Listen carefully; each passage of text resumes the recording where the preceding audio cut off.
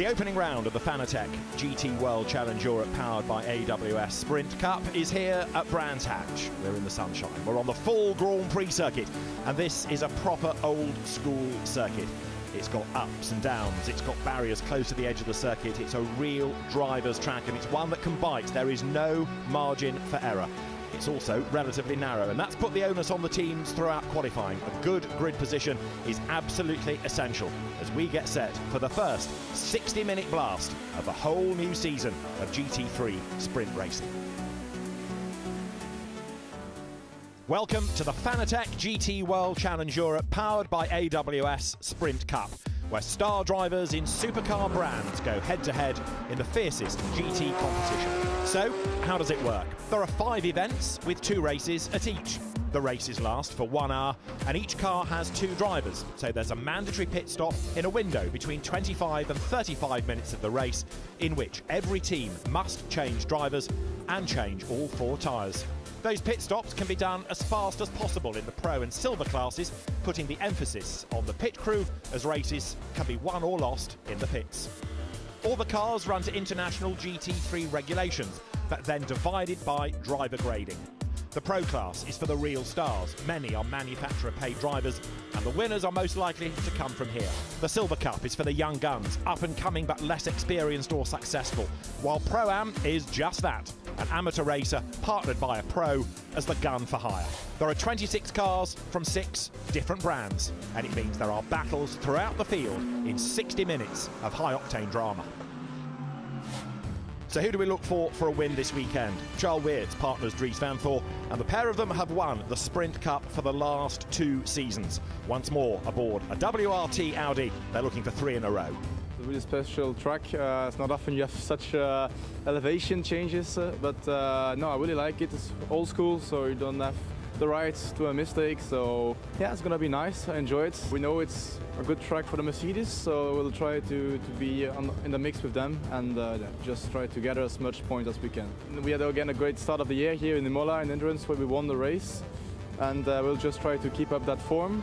WRT is for sure one of the best team on the grid and it's uh, for sure a lot of pleasure to drive with them and uh, let's try to, to make another success with them. Another key brand represented on the grid is McLaren, and the 720S was really quick around Brands Hatch last season. In qualifying this year, life is a little bit more challenging. The driver, Ollie Wilkinson. Yeah, we're looking good. I think the car went from strength to strength last year, having our highest ever Spa 24 finish and nearly had our highest ever race finish and first race win here, but unfortunately that didn't quite go to plan. So we'll be looking to build off the back of that this weekend and see if we can get her up on the podium. Brand number three, step forward, Porsche. The dynamic motorsport team fields two cars, and one is hustled along by the Belgian driver Adrien De Leener. He's back in harness after injuring himself at Misano last year, and he's up for the challenge. I mean, luckily we were at Nordschleife last week, so it's a little bit of a similar track uh, in terms of, let's say, the runoff areas and how the, the constellation of the track is. I think some simulator running. We've all been on the sim in the team, so we have an idea of where we're going, and now it's about dialing in the car and making sure that we have the best package we can.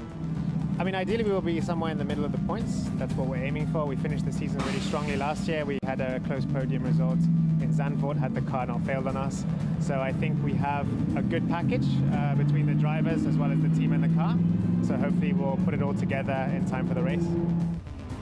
Jules Gounon was a star two weeks ago in the UK in the opening British GT Championship round, and here he is at another good old school circuit for the Akkodis ASP Mercedes team, looking for a victory. Those UK tracks are amazing. I had so much fun in Oulton Park two weeks ago. It's the same track, you know, it's uh, grass and then straight the wall, so you need to respect the place, go step by step to the limit, closer to closer. And uh, yeah, it's it's an amazing place. Last year went well. We did P3 with Razvan Umbrarescu, my teammate last year. But like you said, it was an eventful race. So let's try to stay out of trouble this year, do great qualification, and then uh, we try to send it for the race. A potential winning team in the Silver Cup is Sky Tempesta Racing. They've switched from Ferrari to Mercedes for this year, and that poses new challenges for Eddie Cheever and Chris Froggatt. You know, everyone knows the sprint championship is extremely competitive, like the endurance, but here there's even less margin for error. The races are only an hour long, so you know you've got to make the absolute most of it. And it, probably more aggressive style of racing here. New car, so yeah, absolutely a lot to learn in the new car, and we're still getting to grips with it. But I feel over time we'll definitely get there. And here at sort of my home track, I feel quite comfortable. So fingers crossed we have good pace. Another car to keep an eye to, indeed another battle to keep an eye on, is in Pro-Am, where this McLaren of Garage 59 should start. Miguel Ramos is a perennial racer in the championship, joined by newcomer Dean McDonald, the Scotsman, eager to go racing.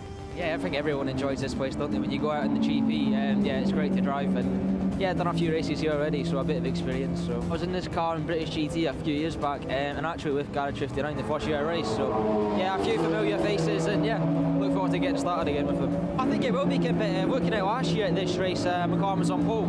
Um, so yeah, um, all goes well. I think hopefully we should be there as well. Remember too that these European races make up part of the global Fanatec GT World Challenge powered by AWS. The brands scoring points in Europe, America, Australasia and Asia. Currently, it's Audi that has the advantage over Mercedes AMG, with Porsche in third place. But two good results here in Europe this weekend could radically shake up the order.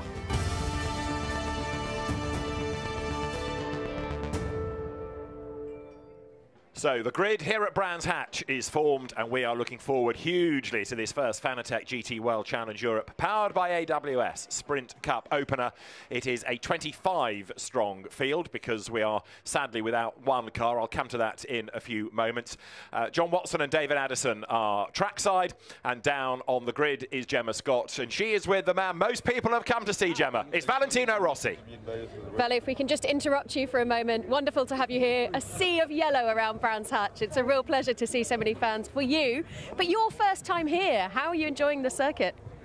Yes, the, the, the circuit is uh, is fantastic. Uh, is uh, is very particular, very fast, uh, and is uh, is good. And uh, thanks to all the fans because uh, here in the UK I have always a big big support in all my career and also today. So it's great to see to see all the people. Absolutely, and of course we're here at 17th on the grid. There's a bit of work to do maybe a little bit daunting into Paddock Hill Bend? I don't know. Daunting, what's mean? Well, there's a lot of work to do and perhaps a lot of cars yeah, in front of you and anticipation. Yeah, they, they, are my friend in front. They, they let me pass. You've done a deal with them. yes. what's it like to, for the fans that, that, don't know this circuit either, to go into Paddock Hill Bend, that drop down as a driver? It must feel quite incredible. Yes, it's incredible because uh, so the track is very narrow, don't have a lot of curb, and also you have a lot, a lot of up and down. Uh, so exit from the first corner when you go down and you come up, it's like you remain without breath, you know. And especially you have a lot of blind corner, and uh, and is uh, is very difficult. You need to take uh, to take the right uh, the right point uh, to entry. And your target for today? Uh, good question. Try to recover some uh, position, and we see. Thank you very much. Have a great race. Thanks, Vale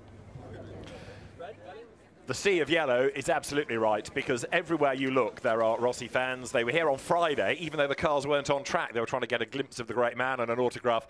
Uh, and we're going to have this John Watson all season. The Rossi effect is just immense. So the grid now being cleared.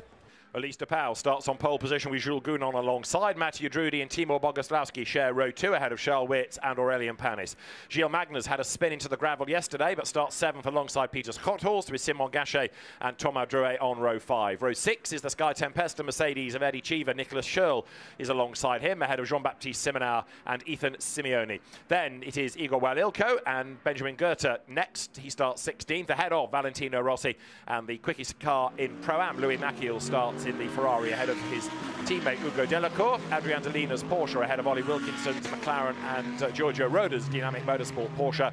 Patrick Krupinski's McLaren's had brake dramas this weekend but starts 23rd. Miguel Ramos had problems yesterday but he's on the grid 24th and Isaac Tutumlu's Lamborghini rounds out the order then. The cars get themselves into the Noah's Ark 2 by 2 formation. The uh, leading car, as it is, will peel into the pit lane, and then it is up to Ulysse de Pauw and Jules Gounon on the front row of the grid to control the pace. You can't really go racing until the lights change. If you do, then it's an anticipatory start. Penalties could come, but the opening round of the Sprint Cup is about to get underway. Jules Gounon has got his nose in front, so eager is he to get on with the job as the lights go green and we go racing. On the inside line is Ulysse de Pauw now Gounon drops back a little bit as up the inside line goes Mathieu Drudi and there's carnage going into the first corner. Cars scatter everywhere. One Porsche is off. There are three cars in the gravel. There's one on the inside line. This is going to be a safety car for sure. Well, it all kicked off in the middle to the back of the field, turning in, and inevitably four cars into two into one is never going to go. Now, John, let's have a look at this. Well, we go racing. Forget about oh, look down the inside. There's the Mercedes that caused yeah, it. It. it got tipped. Then he was off on the inside, and the two Audis and the Porsche end up going off. So the Mercedes went way. I mean, it was off track. There it is now, mm. facing wrong way down the middle of Paddock Hill Bend. The Porsche was able to get regain track because its rear wheels and tires were on the tarmac. But watch for the Mercedes. There it goes now. It has actually got two wheels off the racing line inside that demarcation. And once he makes the contact, it's a bit like a game of snooker. Just one car hits the other, but there's no, no pockets for them to go in. start involving car 30, 33, 54 and 86 under investigation. The other element to that, John, of course, you saw well Ilko, as you rightly said, two wheels on the grass, but of course, the barrier starts to taper out, so the room disappears. He had to get back on the racetrack. There, look, you see it taper, so he's got to force his way back on. Yeah, I mean, it was his error that set off this whole incident. I suspect that's going to be under investigation because he did have two wheels across that white demarcation line. And that line is there for a, a reason. Yep. It's not there to allow you to use it to your advantage. Now, this is Rossi. Look, there's the Mercedes on the right. Squeeze, tries to get back on, clips the Porsche, which clips the Audi, which clips the other Audi. And Rossi, oh, that was a real heart-in-mouth moment. Well, the first thing he would have done is lift his foot off the throttle as quick as possible and look for an escape route because when you find yourself in a situation like that, you need to look for an escape route. Self-preservation is what Valentino Rossi was thinking at that moment. Ulysse tries to jink left and right, just get a bit more temperature in the Pirellis, and Jules Gounon sits there menacingly behind. You can do all the weaving you want, says Jules. I'm not going anywhere, and he'll be on his toes. Here they come then, into Clark Curve. De Pauw floors the throttle, the Ferrari accelerates away, and here they come up towards the line then to get the race back Green underway. Flag. Ferrari leads Mercedes, leads Audi, one, two, three, over the line. We're back racing in Fanatec GT at Brands Hatch. Up towards Paddock Hill Bend they go, and it is De Pauw ahead of Gounon by 0.488 of a second as they turn right, plunge downhill, and now up towards Druids. Yeah, well controlled restart by the Ferrari, and really nobody's been managing to either gain or lose positions on this restart downhill for the first time, if you like, proper, uh, without any fear of yellow flags. So the pit window remains at exactly the same place. So these drivers have got fewer laps within their stint than they would have liked. So they've got to push, push, push. And one of them pushing is Rossi. He's there in 14th place, trying to catch onto the back of Ethan Simioni in the McLaren. Timo Boguslavskiy there goes through in 89. Mercedes down in fifth place, just ahead of the blue Audi of Aurelien Panis. But De Pauw, once more, beautifully controlled restart. Very good restart. Gounon has picked up the pace, but the car in third place, Matteo Drudi, that is probably of the three cars in the lead three positions, the one that I think is looking strongest on this restart yeah, that Audi is perhaps quicker in the hands of Matteo Drudi than Luca Ghiotto, who's still adapting to GT3 cars. Eddie Cheever goes through and looking stronger in 11th place now as you ride on board with the Sky Tempesta Racing Mercedes up towards Sterling to go left, slightly banked corner, back onto the pound, now drag the car out the other side, and all of that grunt of the Mercedes takes it down towards Clearways. And having to be very defensive indeed. They saw the Audi in his mirrors and likewise He's again, well, is he going to lose position? The idea has got the drive coming off side by side all the way down, start finish line, up into Paddock Hill Bend. Concedes one place, concedes two places. Because right there as well is Ethan Simioni who goes through, goes wide. Somebody else has run really wide as well because there's gravel dust settling.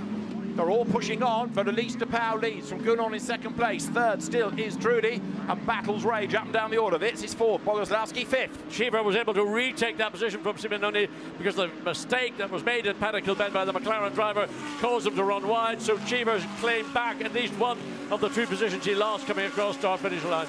Fastest lap, race leader, Ulysse Pauw, 1 minute 23.4. 21 sevens in qualifying. We'll get there as the cars get lighter.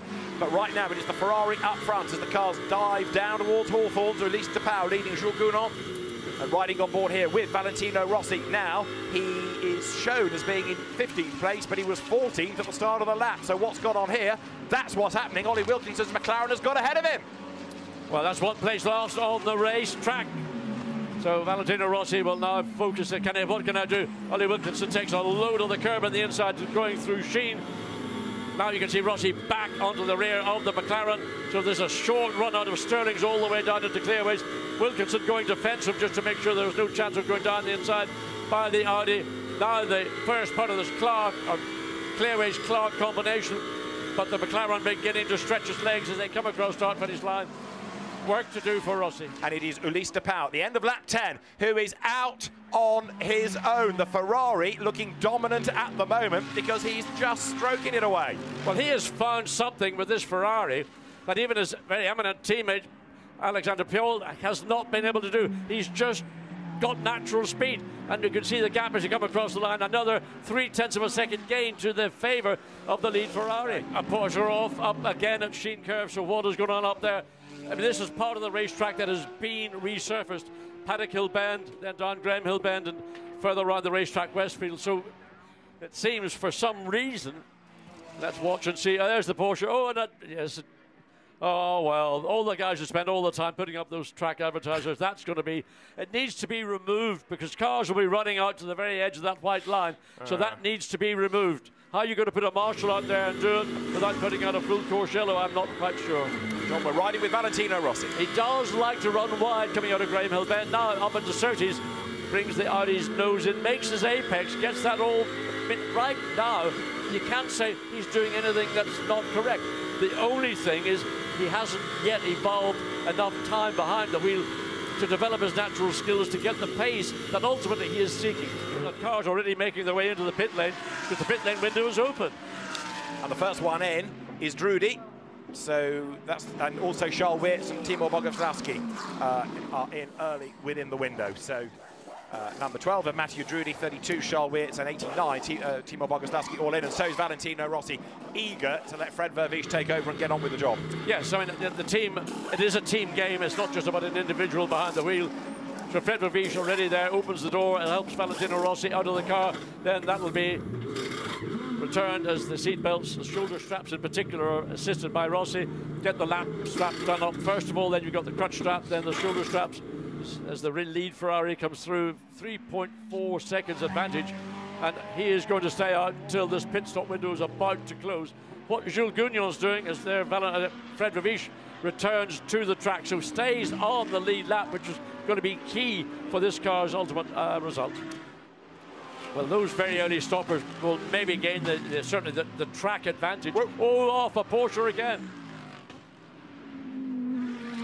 Can't get back on the racetrack because of the traffic, couldn't cut back on because of the furniture lying on the ground. So number 56 having a, a, a second drama of the race. And once more it's Giorgio Roda. Yeah, he seems to like that part of the off-track track up at Sheene Curve. It's not something he's doing intentionally, just getting caught by whatever. We'll maybe find out later why he was off there so many times. Right, so the cars come over the timing line, and on the pit stops, uh, Luca Ghiotto, number 12, has fallen back behind Dries Vanthoor. So the third and fourth placed Audis have switched over. Not surprised, WRT Audi, the masters of the driver change pit stop, four wheels tyres. So Gounon stayed out, he stayed Yeah. out. So it's a Ferrari lead Ferrari. I wonder why they would have brought this car in so early because Ulysse de Pauw was doing such a great job. In my view, keep him out as long as possible. But the team have to make these calls. They've rehearsed, discussed, decided what they're going to do. Just going back to my Audis for a moment, the Dries Vanthoor entry, number 32, moving ahead of number 12 now, Luca Ghiotto. 41.4 seconds in the pits for number 32 from WRT. Hold that thought, 41.4. The number 12 Audi, 44.9. So again, WRT on the pit stops, boom, gain a place. you can't make up that time in the racetrack. That's why the pit stop, the driver change, is such a fundamental and, and, and important part, particularly in a one-hour sprint race. There's 89 Mercedes. This is now Raffaele Marciello, and he's getting himself onto the back of Luca Ghiotto, who's nowhere near as experienced a GT racer. And Marciello should, I would have thought, make short work of him here. Look at the pressure that's being applied. Dive down the inside, but it's all cut off by Ghiotto. He's got lots and lots of great single-seater experience. So now the next opportunity is up the inside into Surtees again. Ghiotto covers that. So now frustration already on the opening lap for Raffaele Marciello to find a way around the number 12 Audi, but right again under the rear wing. Defence on the right-hand side now. Well, the Mercedes has got the benefit of being a little bit later on the brakes into Hawthorns. He's got Oh. it past, good pass. Ghiotto had to concede. He was too tight coming into Hawthorns and had to get out of the throttle. And there he can see the lead Ferrari now in the hands of Pierre-Alexander Jean. Oh, wide, wide, Dries van Thor. Why are you so wide and paddock? You saved it, a little mistake, and there, smashing through the polystyrene was 87, the Casper Stevenson Mercedes. So that's why it's now in fragments. I think he was really trying to get round the Porsche. Yeah, Because yeah. it's limping its way back towards the pit lane. Right, in comes, as Adam Carroll dubbed him at Oulton Park, Chicken Nugget. Uh, so Jules Gounon comes in, and uh, down the pit road comes 88. Now, he did have, of course, the Sky Tempesta Mercedes ahead on that lap, so he might have just dropped a little bit of time. But the key to all of this is the pit stop time. The pit stop time for the Ferrari was 46.6 seconds. They've got to beat that to try to get the lead. That's going to be a big ask. I mean, we know that, that the uh, ASP team are pretty sharp in the pit lane. There is the Ferrari that effectively is our leader coming through Sheene Curve. So the wheels, tires being changed. Jules Gounon standing back, Oh. watching. Get off the pit lane, Jules. But that wheel didn't go on. No, they lost didn't. time there, and you can see the frustration from Jules Gounon. The car's away now, but that will have cost them time. So we'll see when it breaks the beam at pit out. The Ferrari goes through back into the lead. But the Mercedes is going to drop down the order. Let's see, because across the line now there's Vanthoor, and it's cost the Mercedes crew a place. The car rejoins, but that was 46 and a half seconds. But watch Marciello, he has just set the fastest race lap, looking to get alongside up the. You know, is on the defence on the inside. Marciello tries to go the long way around. He's got to be careful. He's now half on the racetrack, half off it, but he has found space down the inside into Graham Hill Bend. He can pick up his momentum. He momentarily lost it, and he was, well, how do I find a way past Jim Pla in my sister car? He made it. He forced it, and that's part of what Raffaele Marciello is all about. So second all the way through the first stint, and fourth with half a lap of the next stint done. And Jules Gounon is going to be very frustrated. You can tell that. You don't need me to tell you it because some of the time was lost with that left rear wheel that just wouldn't seat. They had to try again and again and again. And that's cost them a big chunk of time. Let's have a look at this. Go to the left rear. Wheel goes on. Won't, won't, won't. Try again, try again, try again. Look at that. watching Christopher Haase. Oh, and the Mercedes Stevenson runs wide. A, a gift, an absolute gift for Christopher Haase. Indeed so, and he takes full advantage of that. And there is the race leader. Now there is traffic ahead, and Dries Vanthoor is only a second and a half behind him. That traffic is uh, not getting out of the way, and Pierre-Alexander Jean can't find a way through, and he looks at the data, looks at the gap, and says, where's all the time gone? It was 2.8, now it's a second and a half. So this little fight that you're looking at as they come through between the Audis is now for sixth. Luca Ghiotto uh, being reeled in by his much more experienced teammate Christopher Haase. Ignore the car behind because Gerhard Tweraser in that Lamborghini is a lap down. So it's the two car collection Audis going toe-to-toe, sixth and seventh. You've got to put your money on Haase, really, given his experience. You have in terms of experience, but you know, a driver like Luca Ghiotto, who's come out of very competitive, very combative single-seater racing, will be glued one eye on the mirror, one eye on the racetrack, and we know that he's prepared to use the racetrack to defend, and that will frustrate Christopher Haase, who has got maybe natural speed, but can't find ultimately the pace to get away around the uh, the number 12 Audi, Luca Ghiotto.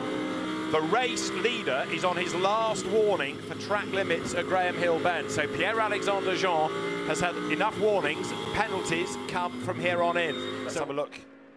This is what he has been doing, right up over there. But look Yeah, at but look at- Thor, he's even wider. Well, and Marciello, all three lead cars are guilty, my lad, of the Yep. same penalty. So they're getting notifications likewise. They were down the order there. Andrea Bertolini goes through, number 52. He's still on the tail of Christian Klien. Still can't find a way past him. Dean McDonald is right with him. This is for second, third, and fourth within Pro Am. It's been like this for lap after lap, but you get the feeling now something might give. As Druids turns Pierre Alexander Jean, who made a real name for himself in Alpines in GT4 racing, but has adapted to this Ferrari just like Ulysse de Pauw has incredibly well this weekend. Well, Charles Weerts would dearly like for something to give his car an advantage. Ulysse de Pauw can barely watch all of this because he did a mega job in his stint. Now this would be the ideal opportunity. It's And yes. Walilko does get out of the way. Sorry, Umbrarescu does get out of the way. Blue lights on. What a dramatic start to our Sprint Cup season in Fanatec GT. The checkered flag is at the ready, and it is going to be a win for AF Corse, for Elise de Pau, and for Pierre-Alexander Jean, who brings home the Ferrari to win race one of the Sprint Cup at Brands Hatch. Dries Vanthoor is second, Raffaele Marciello is third, and a brilliant job done by the Ferrari team. This for fourth is Jim Pla, delayed in the pits, but fourth is the reward, and Ulysse de Pauw can finally breathe. Great result for AF Corse. Great result for the two drivers, Ulysse de Pauw and Pierre-Alexandre Jean. a faultless race, great pit stop. Only the concerns of those closing laps. And has got himself look right onto the back of Rob Bell. I don't think he's quite going to be able to get close enough to make a move at the very end, but not for the want of trying as they come across the line. So Rob Bell 12th and Fred Vervisch with Valentino Rossi 13th. Uh, Cedric Sbirrazzuoli is about to come through to win in Pro-Am, but second, third, fourth, they're still in the same order. They're stuck behind 93 for uh, the uh, 93 Mercedes, I should say, at Sky Tempesta Racing. Chris Froggatt fending them all off, and so Christian Klien keeps Bertolini and also Dean McDonald at bay down through Clark Curve. They will come in a moment. The flag awaits.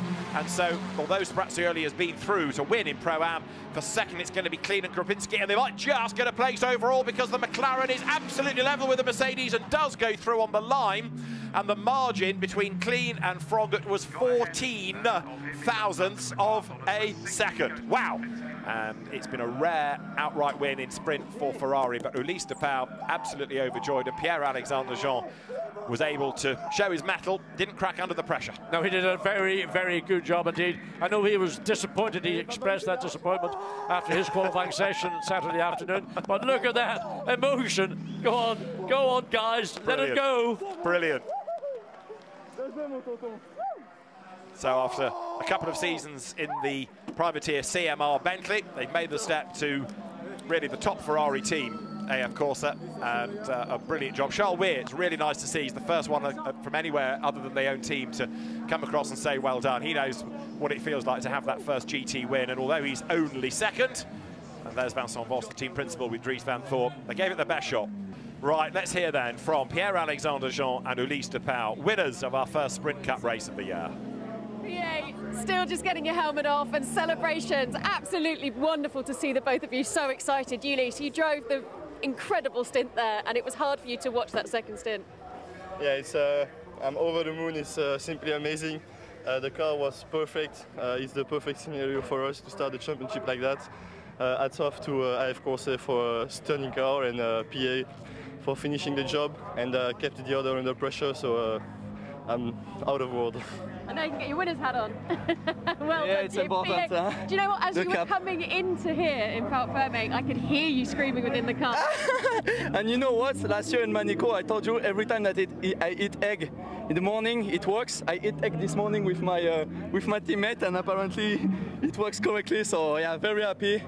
What a race! What a race! Uh, congrats to this guy who did a, a very very good job starting pole, get, get away, and give me a perfect car. So after I just had to put some laps, be careful about track limit, and uh, yeah, win this race on the first race of the season is uh, is quite good. We still have a long season ahead, but uh, it's good to start like this. So let's look at the provisional results of the opening Sprint Cup race of the Fanatec GT season. A win for Ulysse de Pauw and Pierre-Alexandre Jean ahead of Charles Wins and Dries Vanthoor, Timur Boguslavskiy and Raffaele Marciello third, ahead of Jules Gounon and Jim Clark with Aurelien Panis uh, fifth and Patrick Niederhauser uh, with the top six rounded out by Mattia Drudi and Luca Ghiotto.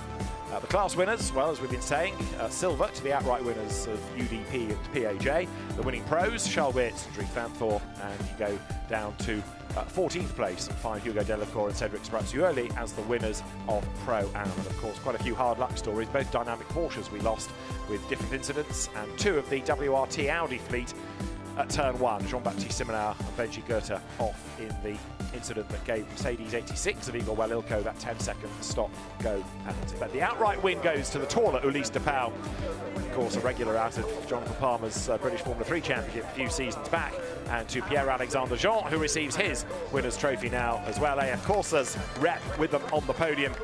And uh, the Ferrari team very, very pleased indeed with what has been a great result. The AF Corse squad wins at Brands Hatch.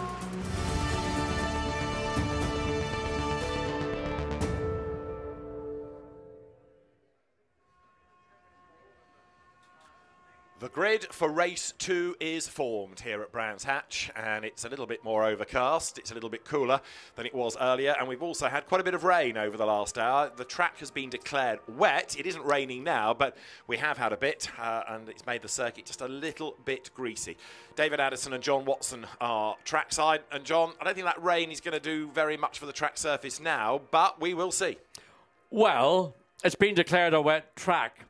Uh, so, I mean, to me, from what I can see in the commentary position, it looks perfectly suitable for slick tyres. But I'm not in the com- I'm, I'm in the commentary booth, not behind the wheel. Well, the fans, who many of whom are here to see Valentino Rossi, have stayed through that inclement weather ready for race two. The national anthem has just been played, and the build up to this second 60 minute sprint race is. Uh, all the while getting closer to releasing the cars. The teams are on the grid with the tyre trolleys so they can make a last uh, decision whether they want to go slicks or wets. And uh, I think it is going to be, as John said, slicks pretty much for everybody unless we get another sprinkling of rain. Well, right now, uh, I'm looking skywards. No pun intended. uh, it looks like it's blowing through or has blown through. Yeah. Uh, it never really rained heavily. It just was just never stopped. Hmm. But the track eventually did get damp enough to make it tricky for the support races that we were broadcasting on. Well, let's, before we go racing, go to the grid. Gemma Scott is down there, and so also is Raffaele Marciello. He's going to start on pole position for this second race. Let's hear from Raffaele with Gemma. Raffaele, yesterday's qualifying was somewhat dramatic. We can see the marks on the car, and there was speculation of whether or not you did touch the tyre wall. Clearly, you did, uh, but finally put in that all important lap time. Yeah, it's important to start on pole here, uh, but because our car is fast, so it, it was a good reward to the mechanics and engineers for the hard work they did. Talk to me about the race earlier on as well, because you seem to be struggling a little bit with pace, but then towards the end, pushing hard onto Dries Vanthoor. Yeah, I mean, I had to overtake two cars, then I was yeah, pretty stuck behind the race all my stint. I mean, our car, like, car is quick, so we just try to keep in front us in T1 in first lap, and then I think we can have a good pace. It was declared a wet race a little bit earlier on, but it's very much dried out now. Yeah, I mean, as every time you say, same for everyone. So if it's dry or wet, the guy who adapts well will win. So I mean, it's the same for everyone. Have a great race. Thank you very much, Raffaele. Let's have a look at that uh, incident from qualifying. Gemma referred to uh, Raffaele in a dramatic qualifying session. You can see the scuff marks on it. This is what he did. He ran wide out of paddock. Look how close he got to the barrier, and he just skimmed that sheeting around the tyre wall as he bounced back onto the circuit. John, it could have been a lot worse. It certainly could have been very much worse because if the front of the car had hit the barrier, then that chassis would not be running here this afternoon, or let alone the morning. So he got away with it, and Raffaele Marciello sometimes makes a habit of getting away with it, but that was a little bit too close for comfort for the team, least of all for Raffaele Marciello. So hopefully that's got it out of his system. Uh, the Mercedes finished uh, third in the earlier race that was won by Ulysse de Pauw and Pierre-Alexandre Jean. Pierre-Alexandre Jean will start, and that means that Ulysse de Pauw has got a couple of moments to speak to Gemma pre-race.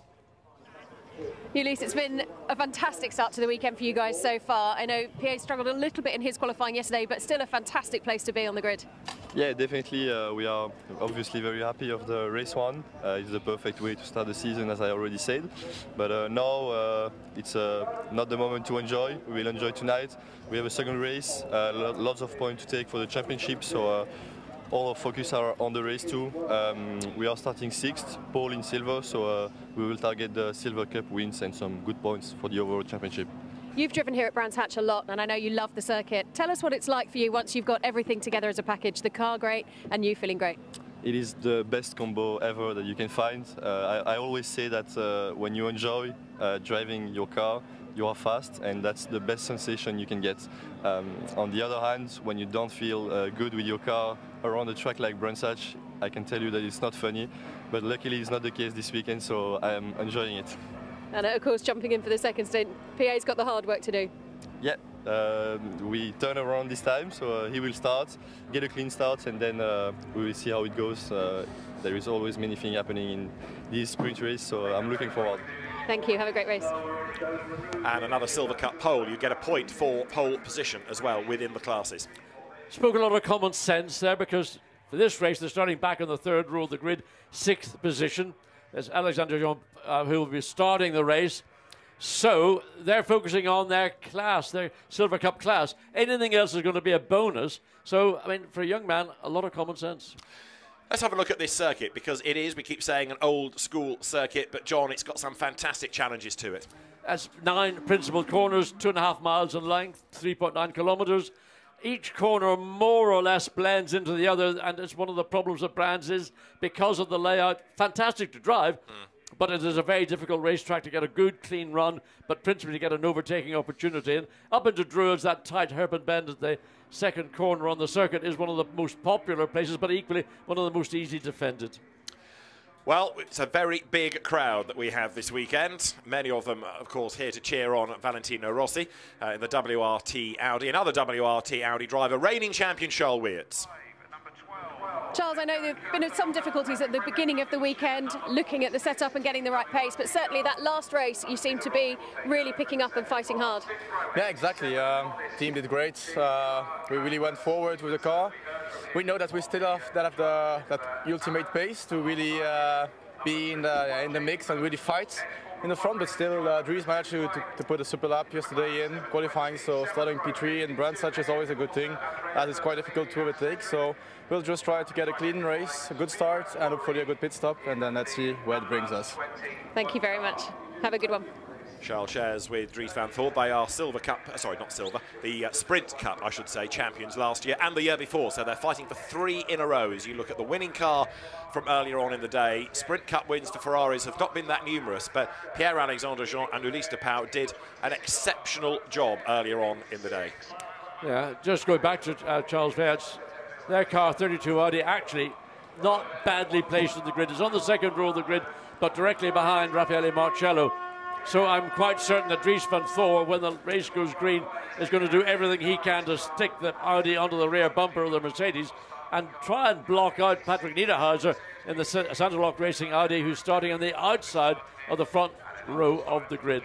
You saw a moment ago Jim Pla's Mercedes. That is the hair, Christopher Haase, in the uh, car collection by Tresor Audi. He shares with Simon Gachet. There in the pit lane is number 30 Audi. Now there's a saga attached to this car because so badly damaged was Ben Goethe's car in the earlier race, it got as far as paddock and was involved in an accident, that effectively they've had to build up a replacement car.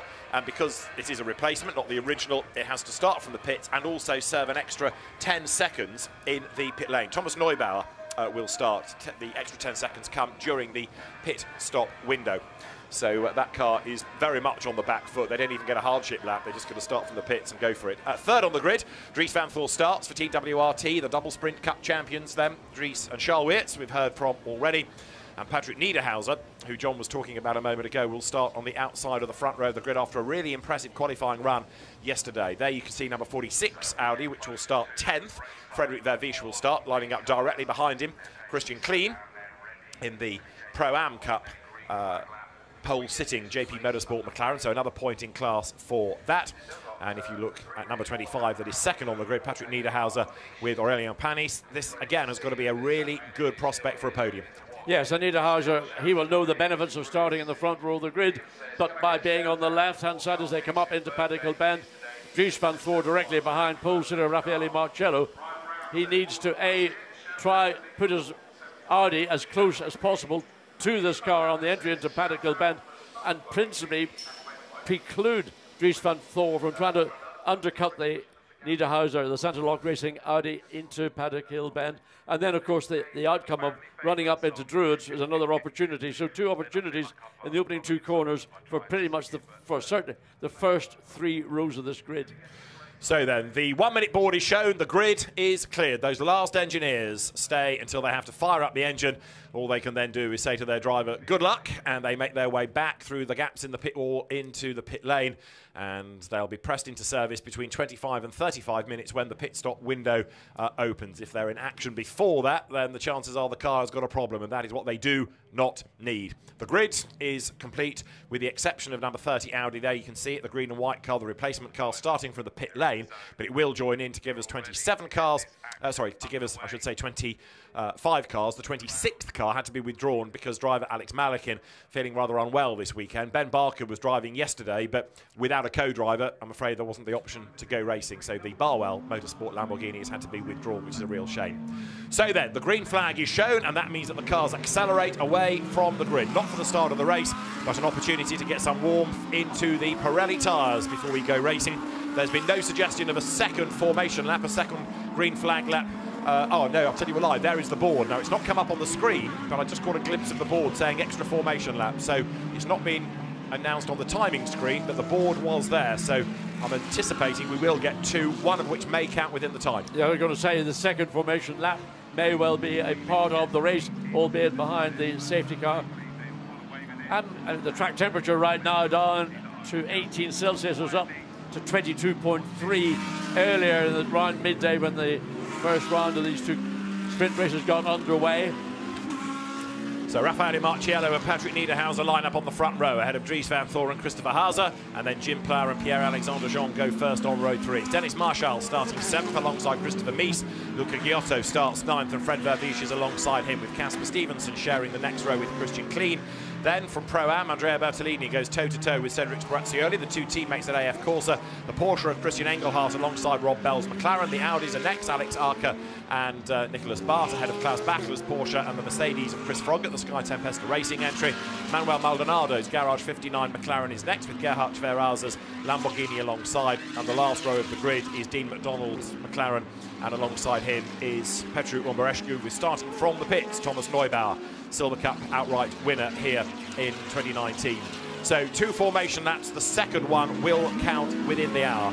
So the clock will start at the end of this lap, as we were saying, and the therefore first lap will be a controlled lap, but it'll be a normal start process at the end of the second formation lap. So rather than uh, a safety car start as such, two formation laps, but the second one will count within the hour. Fred Vervisch aboard number 46 Audi down towards Clearways, and you can see just what it's like in the cab with all of the netting, all of the safety requirements, that huge roll cage, and there, about to be released, is number 30 Thomas Neubauer. So he'll have to wait until the entire field goes across the start-finish line before he can be released.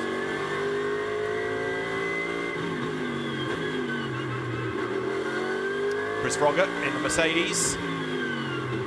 Great noise the Mercedes AMG GT3 makes. There it is across the line. It was a, a tough weekend yesterday with uh, clutch problems, transmission problems, but eventually the team got on top of it, and Eddie Cheever really did a good job in his stint uh, earlier on in the day. Into the race now goes number 30 Audi that joins from the pits. So this is our second formation lap, but we are already with the clock ticking, as you see. Yes, so on board with the third row of the grid, Jim Pla. So field streams now onto the Grand Prix loop here at Brands Hatch through the exit of Surtees Corner. Part of the surface here is this has been resurfaced as well, and where you, you've got resurfacing, not the entire circuit. In dry conditions, it's not so difficult, where you've got these mixed conditions, albeit now it's virtually dry anyway. It's a little bit trickier, so drivers are going to have to be aware, but I think right now we're set for a drive, one hour uh, qualifying, it's not qualifying race, sprint race to the checkered flag. So who's your money on then, on the evidence of the first? Oh, I'm not going to do anything. I've, I've, been wrong every time I've opened my mouth. well, but right, right, in theory, in the, the, Mercedes, the 89 Mercedes yeah. of Marciello and uh, Boguslavskiy ought to be in the seat, but don't discount the 32 Audi. I mean, the fascination in 89's case is, is whether Boguslavskiy can match the pace of others in his stint. He's not slow, but he's not the outright fastest. If he's got clear track ahead of him, he's not going to be into a, a, you know, a nose-to-tail fight. He can do a very good job, but he hasn't ultimately got the, the pace in traffic and you know, getting his elbows out that Marciello does. So now you see the cars start to get themselves into the two by two formation for the rolling start. They don't stop on the grid, they go straight into the race. The pace car peels into the pit lane, and then we're going to be in business. So left and right, they go to their respective sides of the grid and make their way down towards Clearway. So it's going to be, in terms of racing laps, slightly shorter. It's still a one hour race, but we've lost one lap effectively with the extra formation lap after the change in weather conditions. Down towards Clearways they come. Raffaele Marciello versus Patrick Niederhauser on the front row. It is Dries Vanthoor alongside Christopher Haase on the second row of the grid. And this is the view from Jim Pla, who starts fifth.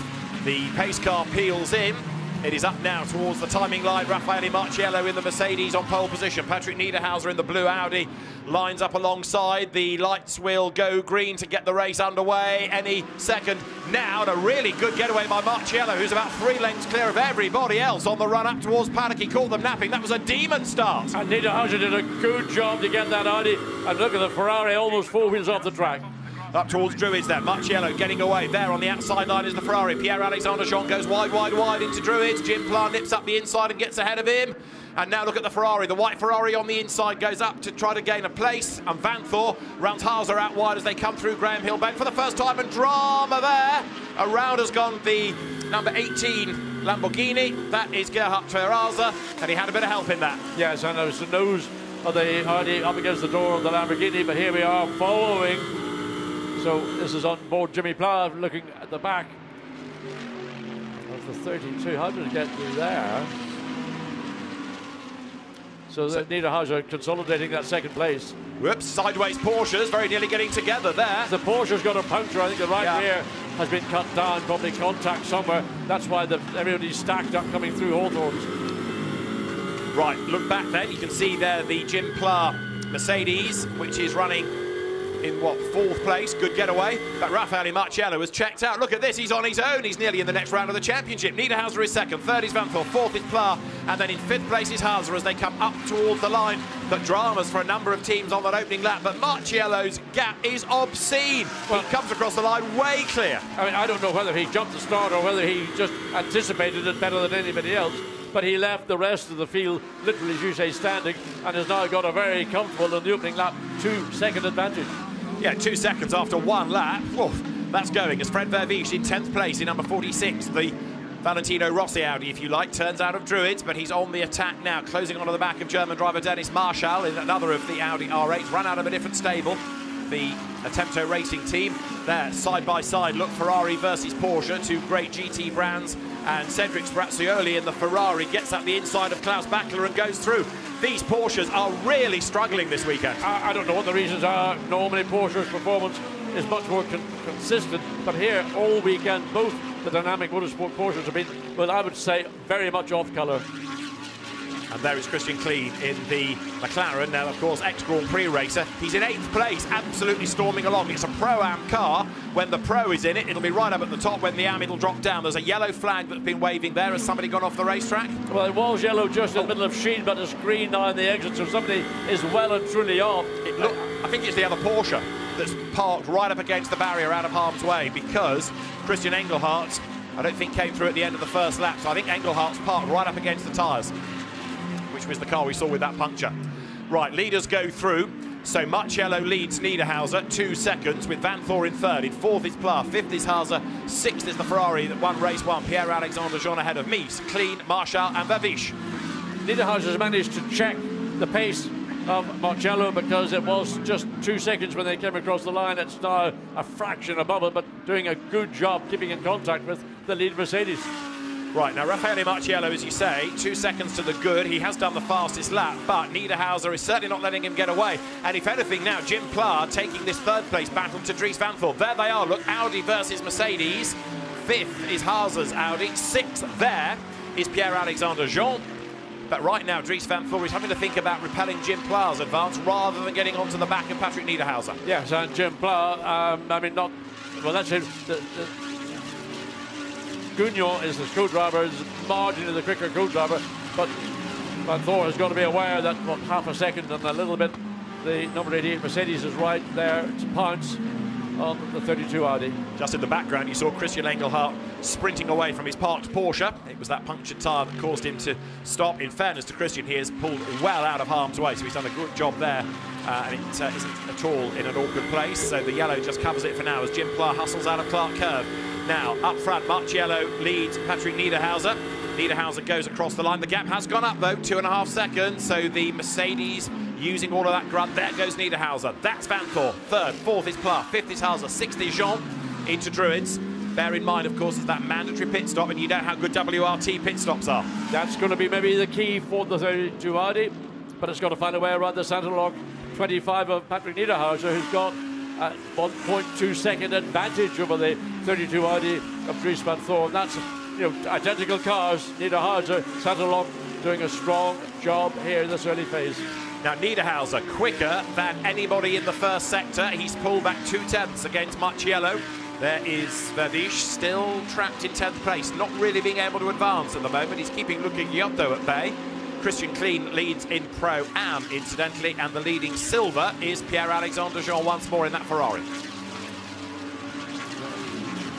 Well, there is the Ferrari, the winner of the opening qualifying or opening sprint race here on Sunday. And Pierre Alexander Jean maybe got a little bit muscled out and threw it on that opening lap.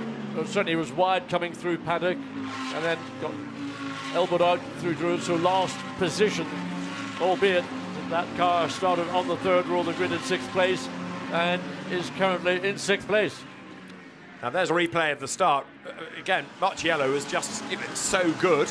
Two or three lengths clear as he got to the line. Everybody else having to scrap over second place. But Marciello's first lap on cold tyres, impressive. Yeah, well, the light literally went out and he was hard on it, mm. and the field behind seemed to be just hesitant in getting as quickly or reacting as quickly as we saw from Marciello. Now, that advantage that he got on this opening, look, you can see already he's got maybe half a second of an advantage over Niederhauser as the rest of the field thunders all the way down through Paddock Bend. Here's the few back from Dries Vanthoor's Audi. Ferrari is trying to get in, is trying to get in, but there's nowhere for it to go. The Ferrari is holding it out, and that was part of what lost the Ferrari some of the ground. Look how wide it gets on the exit of Paddock Bend. And there's Pierre Alexander Jean going deep into the corner. Jim Clark right on the tail of the Audi here. Yeah, and that's really the, the, the more was lost into Druids by being a little bit too late on the brakes. This is Jim Clark's view. Ferrari on the left, Audi's absolutely side by side ahead. Brave stuff by Vanthoor around the outside. Uh, this is Chris Froggatt's view of the start. McLaren comes storming past, doesn't it? Yes, it did. It wasn't the best start for Chris Froggatt, although he's running in nine, eight, yes, 19th position right now. But that was a pass that he didn't really want to give up. This is Fred Vervisch's getaway, turning through paddock. Very wide, runs the curb. And this was the drama. Gerhard Tweraser given a tap by Nicholas Baert, and around he went. And uh, others have to scatter. Well, Nicholas Baert had virtually four wheels off the racetrack, so and there's the Porsche with the puncture getting sideways. Whether it went at that moment is hard to gauge, but either way, it was certainly a puncture and it pulled off two corners later. It, it may have happened a little bit earlier in the lap, but the consequence was he put a big load into the left rear of the car into Hawthorn, and it didn't like it, and it snapped very aggressively. Everybody else having to take very uh, rapid avoiding action. Out of Surtees then on lap seven of one hour of racing here at Brands Hatch. And the lead gap is now 3.4 seconds. Raffaele Marciello absolutely storming away, 122.9. But he's got to do this in order for Timur Boguslavskiy to preserve that in the second stint. But what might be concerning WRT Audi more is that Dries Vanthoor is now one and a half seconds behind Patrick Niederhauser in the identical car, albeit in a different team. Out of Sheene curve into Stirlings, there goes Christian Klien, eighth overall. Now that JP Motorsport McLaren started the weekend with pretty serious brake dramas, but now they've really got on top of it, and Christian Klien running in eighth place overall, going well, and that actually is the best place of all the McLarens right now, ahead of the Jota car and the Garage 59 entries. 3.8 seconds the gap first to second, 1.6 is the gap se second to third. So, point, uh, again, Dries Vanthoor seems to have nothing available to him to, to challenge the second place Patrick Niederhauser. Through Graham Hill Bend. Be careful not to go too wide because if you do, the track limit warnings will come. Brake for Surtees, turn left and then climb the hill. So Christopher Haase looking to make a move on Jim Pla, being followed up by Pierre-Alexandre Jean, who had a difficult opening lap, now getting settled in behind the wheel of the Ferrari as we go on board with Fred Vervisch in the 46 Audi. This is the car that will be taken over, well, in the next 15 or minutes by Valentino Rossi. So running behind Dennis Marshall in the 66 Attempto Racing Audi. There goes Fred Vervisch in 10th, and he's now right on the back of Dennis Marshall. So we could be on for a place change here as they go past the stricken Christian Engelhardt Porsche, which we understand was suspension rather than a tyre. Uh, other gaps are closing, John, as well. Yes, sixth to fifth. Now that's really because I think Jim Pla may be holding up a little bit of the, the pace of Christopher Haase, and that's drawing the Ferrari up to the tail of the number 11 Audi.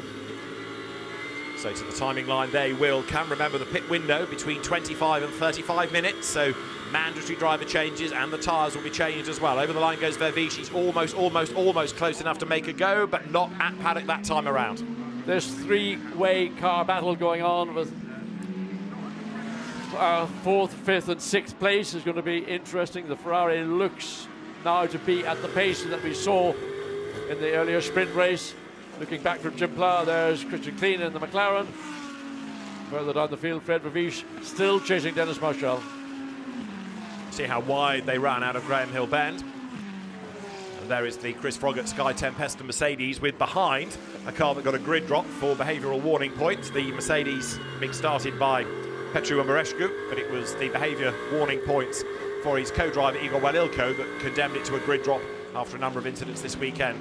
The Sky Tempesta team on the back foot, they lost really much of the running before qualifying, but they've bounced back pretty strongly. Yes, they have, and of course, unfortunately, some of that on the on the back foot wasn't qualifying, so they really maybe starting a three or two or three rows certainly further back than they would have anticipated.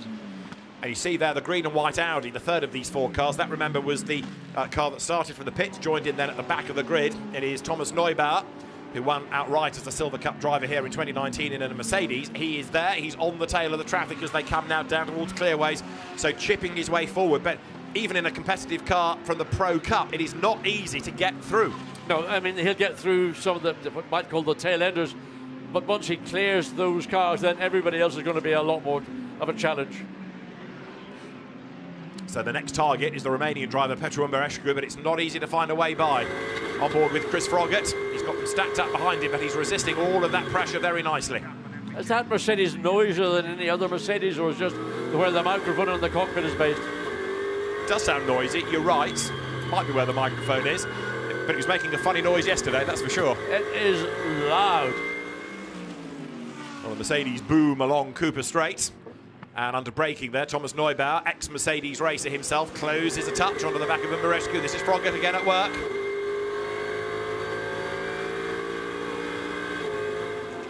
Grabs a gear. And the McLaren just going through the shot ahead is Manuel Maldonado. There is Thomas Neubauer then from the back of the grid.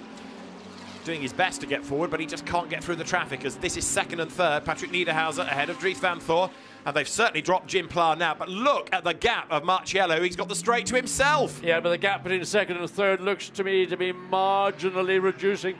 Let's see what it is coming across the line. Yeah, well, it's seven tenths of a second. That was from one and a half seconds a couple of laps ago. So either Niederhauser has made an error or Vanthoor has found pace that he didn't have in the opening laps. I still think, though, that given the speed of a WRT pit stop, if they can get uh, ahead on the pit stops of the Saintéloc Audi, then certainly Weerts has a chance of hunting down Timur Boguslavskiy, because I would say that possibly Charles is the quicker of him or Timur. Yes, so then goes Aurelien Panis is going to get into the 25 Saintéloc Racing Audi, and one would assume he and Charles Weerts sort of six of one, six of the other.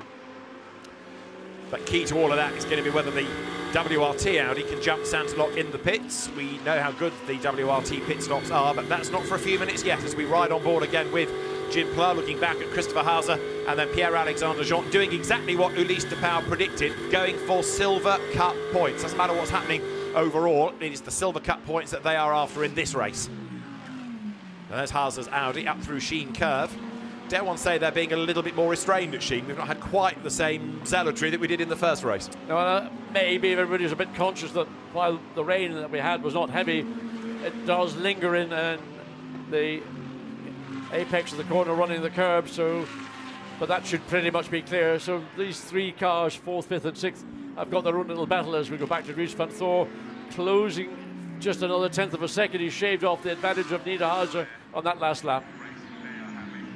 So there, out of Druids, go the two Audis. Patrick Niederhauser was half a second ahead on the start of this lap of Dries Vanthoor. In the flat cap is Vincent Vosse, who runs WRT, and next to him was Yves Weert, Charles' father, who's the big investor in the team.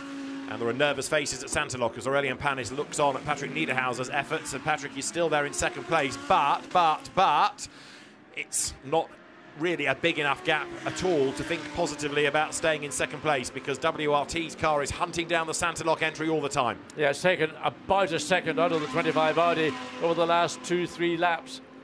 Uh, in fact, Vanthoor coming into Surtees managed to hop the curb on the inside of the apex.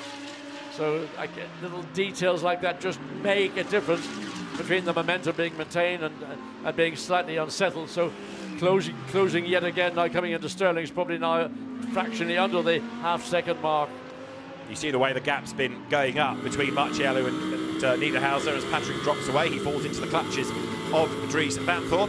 Nicholas Baert is under investigation for causing a collision from the opening lap of the race, and the team manager of that car has to go to the stewards immediately, but nothing at all about the start, so all is good for Marciello, who now leads by a monster margin of 7.7 seconds. He has or is monstering his lead right now, but he's being assisted by Patrick Niederhauser, who's not able now to maintain that pace that he did do in the opening laps, and he's now got Van Dries Vanthoor all over the rear, about three tenths or three and a half tenths of a second is the gap.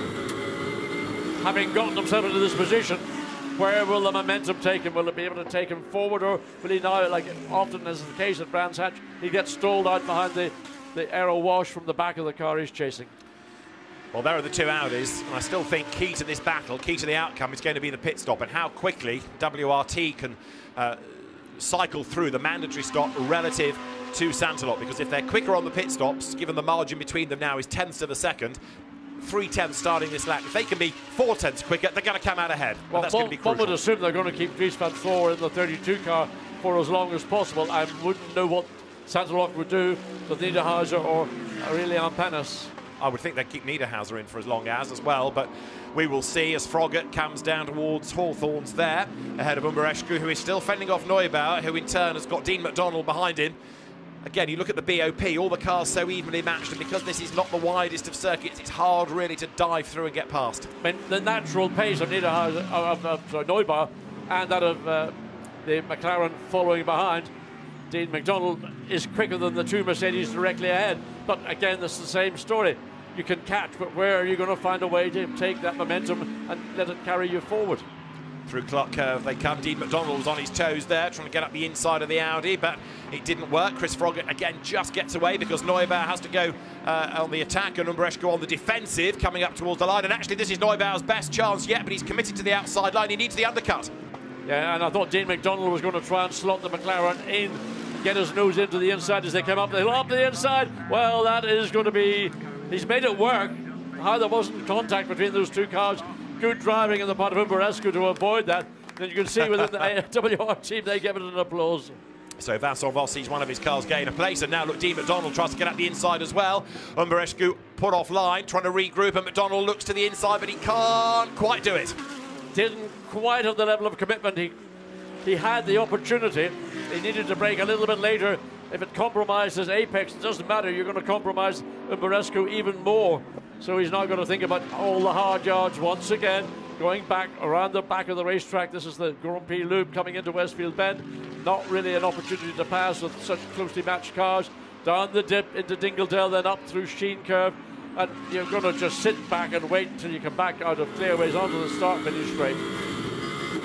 You're riding on board with Dries Vanthoor. That's Patrick Niederhauser ahead. This is Druids. This is lap 15, and they are nose to tail. The gap is down to two tenths of a second between them. Marciello is 9.6 seconds up the road in the race lead, but right now Dries Vanthoor is inching closer and closer and closer. Same type of car. They ran out of different teams. Vanthoor breaks late going into Surtees. Gets even nearer to the back of Niederhauser now. Yeah, he took a slightly softer entry into Surtees. The Saintéloc Audi held out a little bit wider on their point. So the, it's the exit speed of all these corners that really is the key rather than the entry. And if making that softer entry works if you're alongside a car, but not if you're behind it. From Hawthorns up towards Westfield, they turn. Out of that right-hander, the road drops down through Dingle Dell, climb towards Sheene Curve here. Turn right, ride the curve. And Vanthoor just about now is close enough to think about making a move, but to do it, he's got to be brave. But where would you do it? Where would you do it? Do you think, okay, I'll do it down the clearways, but the gap is remaining constant all the way down the short straight into clearways. Next place going to be up into Paddock Hill Bend. Good exit from Dries Vanthoor, who's got the momentum now. But again, Niederhauser is going to hug the inside of the racetrack, forcing Vanthoor the long way around. And he can only go so far in the entry into Paddock Hill Bend before he's going to get out of it. Niederhauser's consolidated. Now Vanthoor's going to think about going up the inside into Druids, but again, covered off. He's determined to strike, isn't he, as they come now through the corner. Little clip of the curve by Niederhauser. The car twitches slightly, but Van not able to take advantage of that. Downhill, Graham Hill bend, go left. run wide over the curb on the outside. The two Audis skip back onto the circuit. The margin between them at the start of the lap, 0.146 of a second. Go left onto the Grand Prix loop. They could not be closer. Well, I mean, you've got two drivers right on the limit in their respective machines, and Niederhauser's done a very strong job in defence. Dries Vanthoor has used all his knowledge, all his expertise, all his natural speed to find a way through, but hasn't been able to make it work. Has dropped back, Martin, talked maybe a metre or so as they come through Westfield. Again, it's about preparation. The preparation is all about the exit of Clearways and Clark Curve. That's going to be the best opportunity, in my view, that uh, Dries Vanthoor has got. But Niederhauser's not really given them an opportunity. And Niederhauser doing a very, very good job here. You think of the top Audi team really as WRT. Well, it's a Saintéloc car ahead, and Niederhauser is proving to be absolutely the match of Vanthoor in all of this. Onto the power. If the move's going to come at Paddock, the next corner, it had to have started, and he's not close enough, is No, he? no, he's not, and that gives Niederhauser an option as to when way he will enter into Paddock Bend. He can take the traditional line, sweeping from the left across to the right. No defence required this time. Brake hard into Druids. We're not far off the pit window opening, but you can anticipate these two to keep on going. Great battle it is between the pair. What it is doing, of course, is serving to allow Marciello to build his lead gap even more. Yes, up to 11 and a half, just over 11 and a half seconds into the WRT pit. Vincent Vosse pointing down the timing and scoring. Charles Weerts's father, Yves Weerts, also a wise owl in the WRT pit. Now, I agree with what you were saying earlier about leaving Vanthoor in for as long as possible, but I wonder whether they might just roll the dice and get him into the pits early, out of the traffic. If they can't get past on the track, let's roll the dice on the pit stops. Neubauer gets past Froggatt, gains another place, goes through, goes 19th. Went very wide on the exit of Graham Hill Bend. Chris Froggatt trying to go one way, then the other way as they come up into Surtees. So, having gone through, then he's going to use all the benefits to try and keep the Mercedes behind him. But Mercedes have got good straight line performance all the way down. Pilgrim's drop, then the rise up into Hawthorns.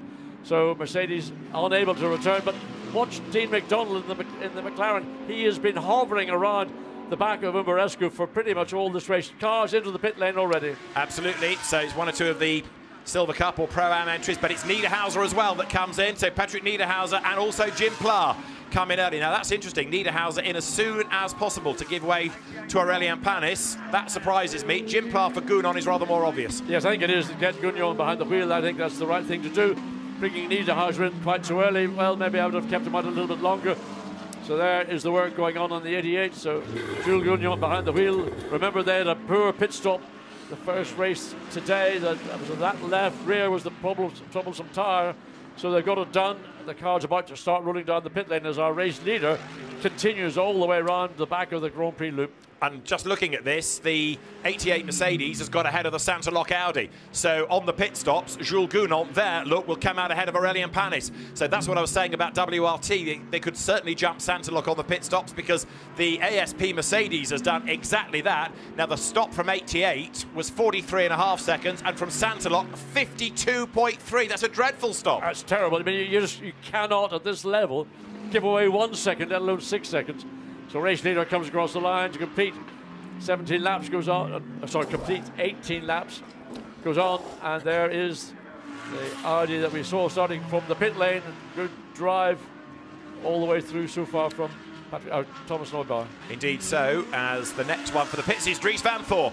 Now this pit stop is going to be fascinating to see the time thereof. The best pit stop so far in this race is 43 and a half seconds from ASP, sorry, and now Akkodis ASP, this year's team name. So Vanthoor stops and gets out. Charles Weerts will get in. There's 53 Ferrari. Pierre-Alexandre Jean gives way to Elise DePau, but anything better than 43 and a half seconds out of Audi number 32 and it's game on.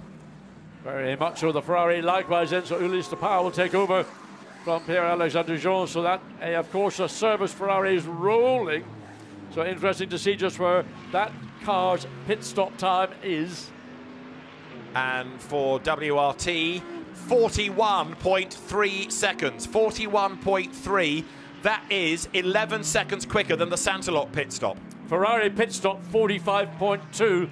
So they've lost the best part of four seconds to the competition. Indeed. But what I was saying about WRT jumping Saintéloc on the pit stops, they've done it with, with time in hand looking at that. 41.3 against 52 seconds. That is a, well, it's a bonus basically Yeah. because that's what WRT do so well. Valentino Rossi limbering up for this car. Fred Vervisch behind the wheel. Don't think he's going to be coming in quite yet. Probably wait until towards the end of the pit stop window being open before he hands over to Valentino Rossi. But there is Valentino preparing. Yeah. So he will be shortly standing out, awaiting the 46 RD making its way into the pits. Well, Vervisch carries on. This is the leader, yet to stop. Matteo Drudi, by the way, has taken over number 12 Audi and done an absolute best in the first sector. You're riding now on board with Chris Froggatt, who's dropped back into 21st place now as the order continues to shuffle. And there, going through, is Gilles Magnus, who has taken over from Nicholas Baert, uh, against whom no further action is being taken after that earlier incident. Okay, well, that's considered a racing incident. Certainly, had virtually, if not four, all three wheels off the racetrack on the entry into Graham Hill Bend, but that's the judgment, and uh, on we go. So, Chris Froggatt thunders down once again. Pilgrim's drop onto the new surface in through Hawthorns. The track beginning to show signs of actually changing colour, the very dark, the black almost tarmac, the new tarmac beginning to get scuffed, and that will give drivers confidence and, and also a margin more grip. So Raffaele Marciello goes through, does another lap. That's 20 in the book.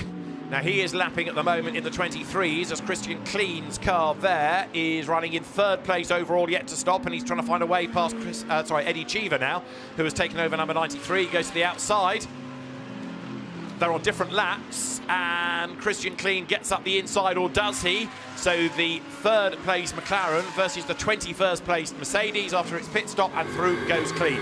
Yeah, was pretty easy for Christian Klien. He worked it out where he was going to be better, and that was at the exit of Clearways and Clark Curve. Got the run, got up inside of the Mercedes, and then took over the control of Paddock Hill Bend. Now, Raffaele Marciello still has the fastest lap of the race. Christian Klien here, third overall, leading in Pro Am, of course, where Andrea Bertolini is second, Cedric Sbirrazzuoli, both Ferrari drivers, are second and third, and fourth, Dean McDonald in the McLaren. Vale is ready to go. The doctor will see you now because he's awaiting his Audi. Yes, indeed. And, uh, you know, sanding their hands on hips. Where's my car? Well, it's going on to another lap. So at the end of this lap, which is going to be lap 21, we'll see Fred Vervisch come into the pits. By the time he gets to the pit stop, the seat belts will not be unbuckled, but the straps will be loosened. If you unbuckle them, that's a penalty. So the Audi presses on. There you've got Eddie Cheever, still going for points in the Silver Cup in class as he turns through Sheene Curve. And that's the overall winning, and indeed Silver Cup winning Ferrari of earlier on in the day. So now Ulysse Power is at the wheel. The order, of course, is somewhat shuffled with some having stopped and others not. But number 25 there, the Saintéloc Audi, has fallen way, way back. Aurelien Panis now behind Jean-Baptiste Simmenauer. So that really slow pit stop has cost them dear. Yes, I mean, a good work done by Niederhauser to end up having a loss of six seconds against your principal competitors of the same manufacturer is something that uh, the team need to address. And a lot more practice so Fred Vervisch undoing the seatbelts, loosening the shoulder straps, and all the other little accoutrements in the cockpit. Now, Valentino gets to the door, opens it up, assists Fred Vervisch get out. There we go. Now, get the seat belts attached, get the shoulder straps across, get the lap belt attached. That is also incorporating the crutch straps. So Fred Vervisch, considerable amount of uh, now tighten the shoulder straps, Valentino. You can't do it when you're driving down the pit lane. But you see how well drilled that stop was, and the car is waved away. Fred Vervisch, he was unhappy because Yeah. they lost maybe a, maybe up to two seconds, but certainly one second by not being quite on the ball, getting the car rolling. 43.4 seconds that, still. who's good. that? Whoa. That is an Audi, and that Oh, is the car that was in 11th place. That's Simmenauer. That's Jean-Baptiste Simmenauer, who's gone way, way wide at paddock. So that drops him behind Aurelian Panis. And is that the leader in? It is. Raffaele Marciello then arrives with Timur Boguslavskiy set to take over. But now, the pit stop and Boguslavskiy's pace will dictate the outcome of the race. Yes, this should be. Let's watch and see the pit stop time. One, a 41.3 is the best time we've seen to date. That was for the WT, uh, WRT Audi 20, number 32. So, Boguslavskiy in, Raffaele Marciello having done a stunning job in his stint. So, clock still ticking away, rolling as it moves down to the end of the pit lane. So It's it's, going to be not as quick as the WRT. 43, 44, 45, 46. It's Oh. not as decent as I thought. 46.4 seconds. Disappointingly slow time for the Mercedes, but they had such an advantage. Christian Klien, by the way, in the lead for his last lap before he makes the way into the pits, so gets the honour of leading a Silver Cup car. Right, it's game on because now Timur Boguslavskiy is being chased by Charles Weerts. And this is exactly what I was thinking. If WRT could jump Saintéloc on the stops, which they've done, we know that Weerts is quick, and now he's hunting down uh, Boguslavskiy, who's got to get himself up to speed and who has lost time anyway because his uh, pit stop was, what, five seconds, 5.3 seconds slower. So they've already lost a chunk of time against number 32 Audi. This is going to make the second part of this race really interesting. Christian Klien must be coming in at the conclusion of this lap, so it comes down into clearways. Wait to see. Yes, he does. So he's in. So that's pretty much the field has now made their way into the pits. So at the end of the lap, we need to see a gap between Timur Boguslavskiy and Charles Weerts. That's going to give us the indication of what we can expect for 25 minutes and a bit because the clock ticks on down. The window is nearly closing. There is Boguslavskiy then. So he's into the car. He's got to get himself up to speed. Now, he's a quick driver. He's perhaps not the quickest, but he's quick, and he comes across the line now. And more importantly, on these opening laps, he has clear racetrack ahead of him. He's not having to deal with cars that are coming out after their pit stops or people he's going to capture lap. There is the second place, in effect, Charles Weerts, and followed now by Jules Gounon in the Mercedes number 88. Right, 9.6 seconds is the margin. So it's Boguslavskiy ahead of Weerts, ahead of Gounon, and 9.6, the lead gap. That is the one to focus on right now. There goes Patrick Krupinski out of the pit lane, hoping to hang on to the lead of Pro Am. Now, we look at sector times. Boguslavskiy gets to the end of the first sector, 26 and a half, and Charles Weerts, 26 and a half, actually 100 slower in the Audi.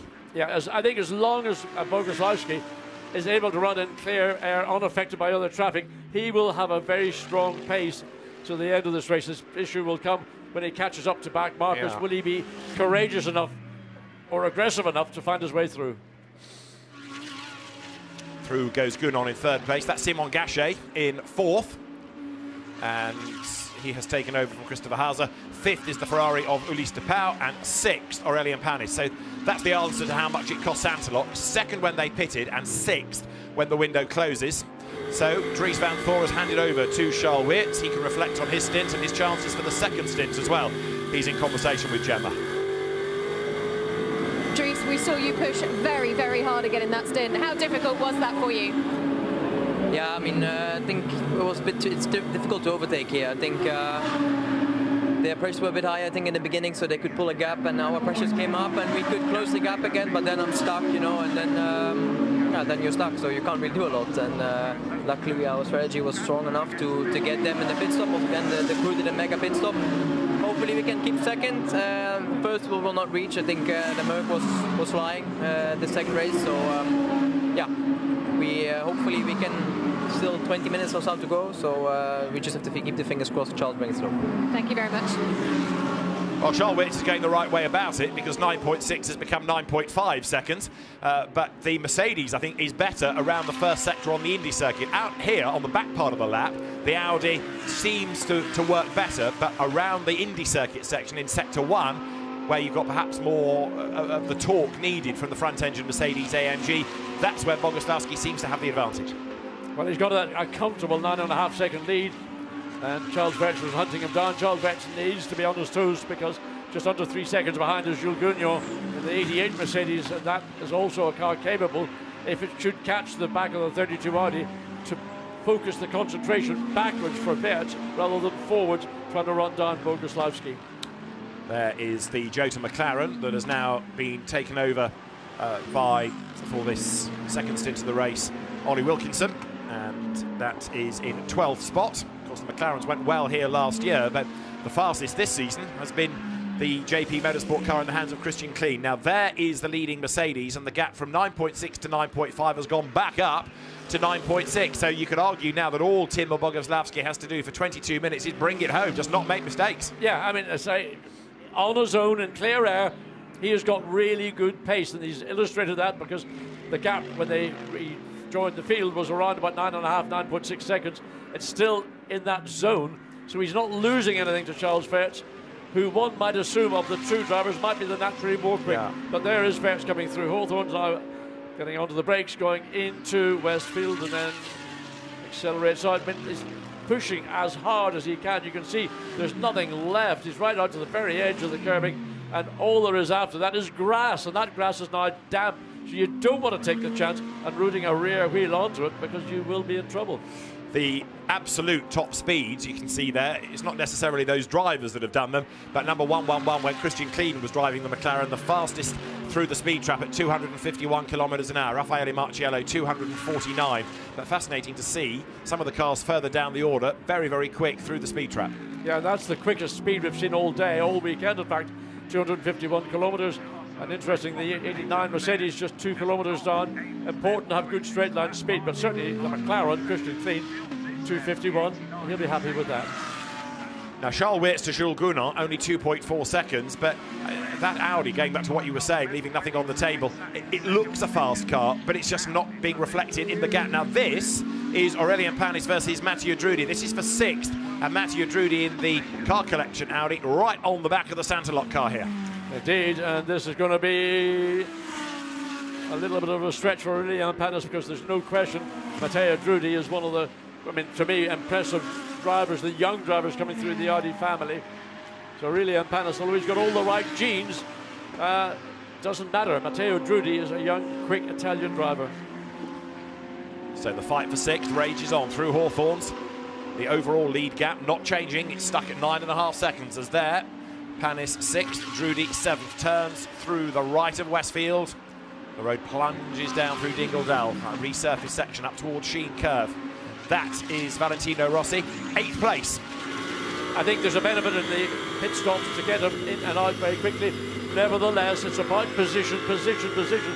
So all Valentino has to do, he's got cars closing on him. He's got the 38 and the 87. So keep your focus ahead of you. Be aware that traffic coming. It may well be catching you, but we've only got 19 minutes of this race to run. You can stay in that position, but don't be forced into making an error. To the timing line he comes. The Lamborghini up the road ahead is a back marker anyway. So actually Valentino Rossi's next target would be Matteo Drudi, who is eight seconds up the road and he's not lapping as quickly, understandably, because he's relatively new to this type of car. But when he catches the tail of the Lamborghini, he needs to catch, overtake, move on. If he allows himself to be trapped behind the then he's going to be subsumed by those that are following behind him. The lead gap has gone up to 9.8 seconds, by the way, as we look at Valentino Rossi. It's a good scrap going on behind him as well, where we've got Simmenauer and Drouet together. So uh, Charles Weerts falling away from Boguslavskiy, but Valentino Rossi here using every lap to add to his armoury. It's more knowledge, more seat time, more learning. I mean, I think what Valentino Rossi needs is to get into a real you know, bare knuckle fight. Forget about thinking about it, just do it. Yeah. Well, there, 87, Tomo Drouet is doing it because he's got onto the back of Jean-Baptiste Simmenauer, and he's taking with him Nicolas Schöll as well. So you've got Silver Cup Mercedes, Silver Cup Audi on the back of the Pro Cup Audi there. The blue and white car, Jean-Baptiste Simmenauer at the wheel of that car, having taken over from Christopher Mies. It started uh, on the outside of the fourth row, so it's lost one place as Valentino Rossi kicks up the dirt at the And corner the- he went off at yesterday. The Lamborghini directly ahead likewise kicked up a little bit more than Rossi did.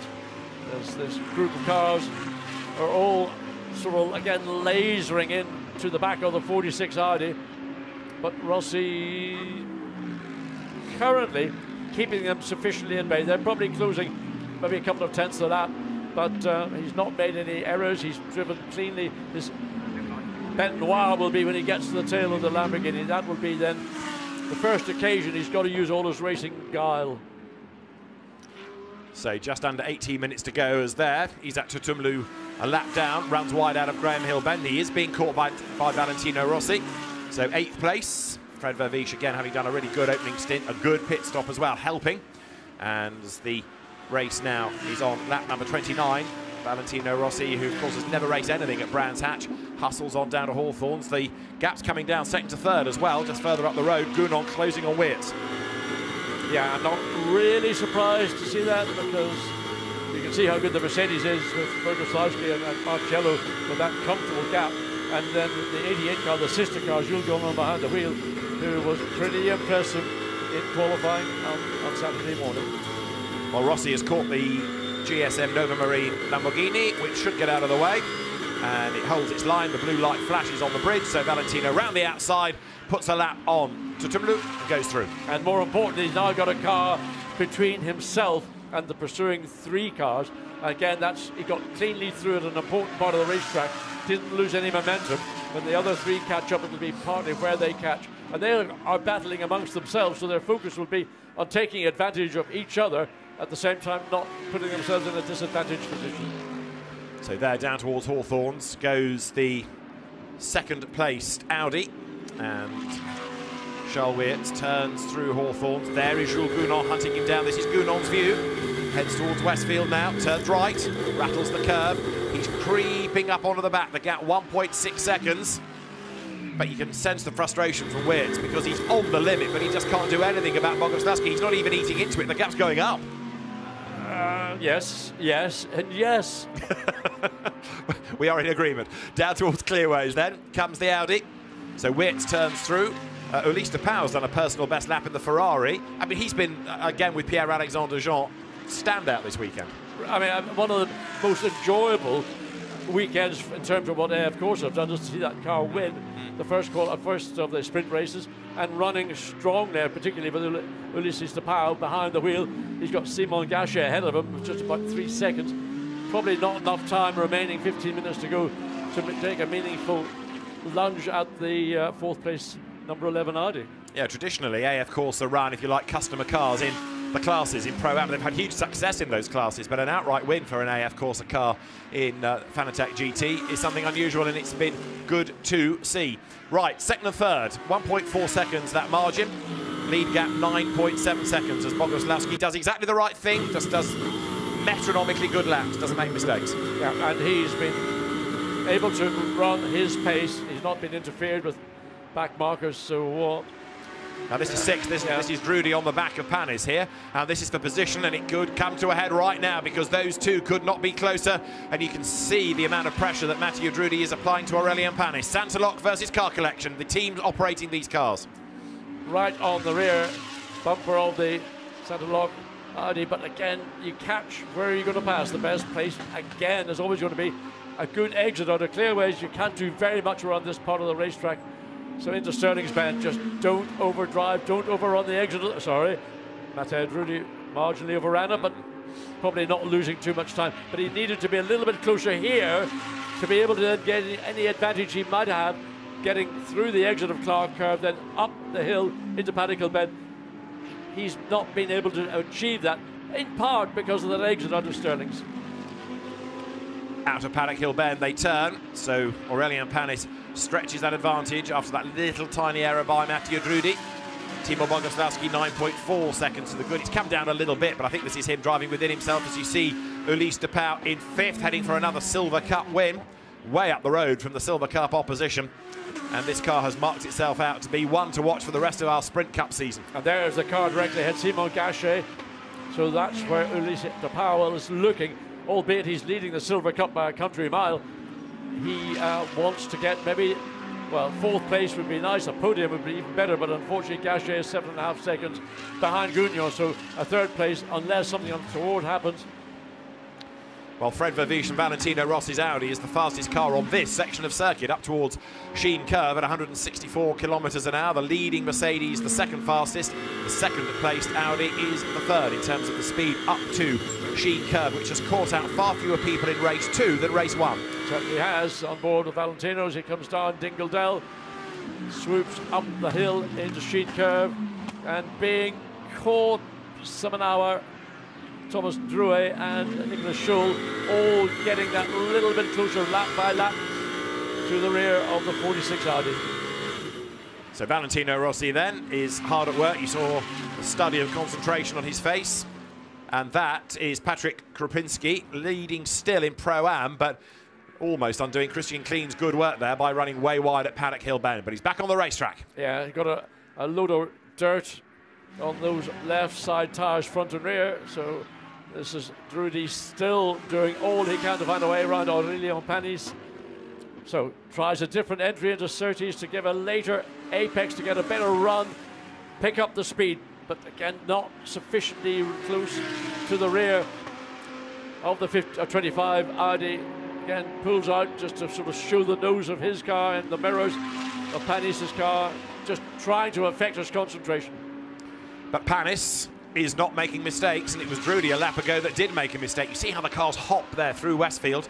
Touch the curb, it unsettles them a little bit. This is the resurfaced section up towards Sheene Curve, that flat curb on the inside. Of course, Brands Hatch a busy motorbike circuit these days for British superbikes, so the curbs have to tolerate cars and bikes. Better exit this time for Drudi out of Stirling. And is he any closer? I think he is a little closer this time in clearways, so he's about to try and launch an attack. But again, a good exit from Panis likewise as there is Ulysse de Pauw. Now his target of Simon Gachet is only a second and a half up the road. The Ferrari still looking good as you see there. Weerts and Gounon 1.2 seconds, but again Jules kind of stuck as well. He's, he's talking about hundreds per lap now, and that is Timo Boguslavskiy, who you can almost picture with one hand on the windowsill and changing the track on the CD because he's got such a comfortable lead. Raffaele Marciello looks pretty relaxed about this. Or even eating a chicken wing. Yes. Last warning to Charles Weerts for track limit. So the car in second place. Oops, some big drama there for Jean-Baptiste Simmenauer at Druids. He's had a, a lose. Gets back into the race, but that's cost him a fair few places. How did he do it? Let's see. Uh, was that as, uh, on his own, or was there an assist? There was. No, he, well, there yes. was an assist indeed. There was. Thomas Drouet in the Mercedes clobbered into the rear of the Audi. Maybe done a little of damage to the nose of the Mercedes and hopefully didn't damage the diffuser on the back of the Audi. That might be also under review. I would think so.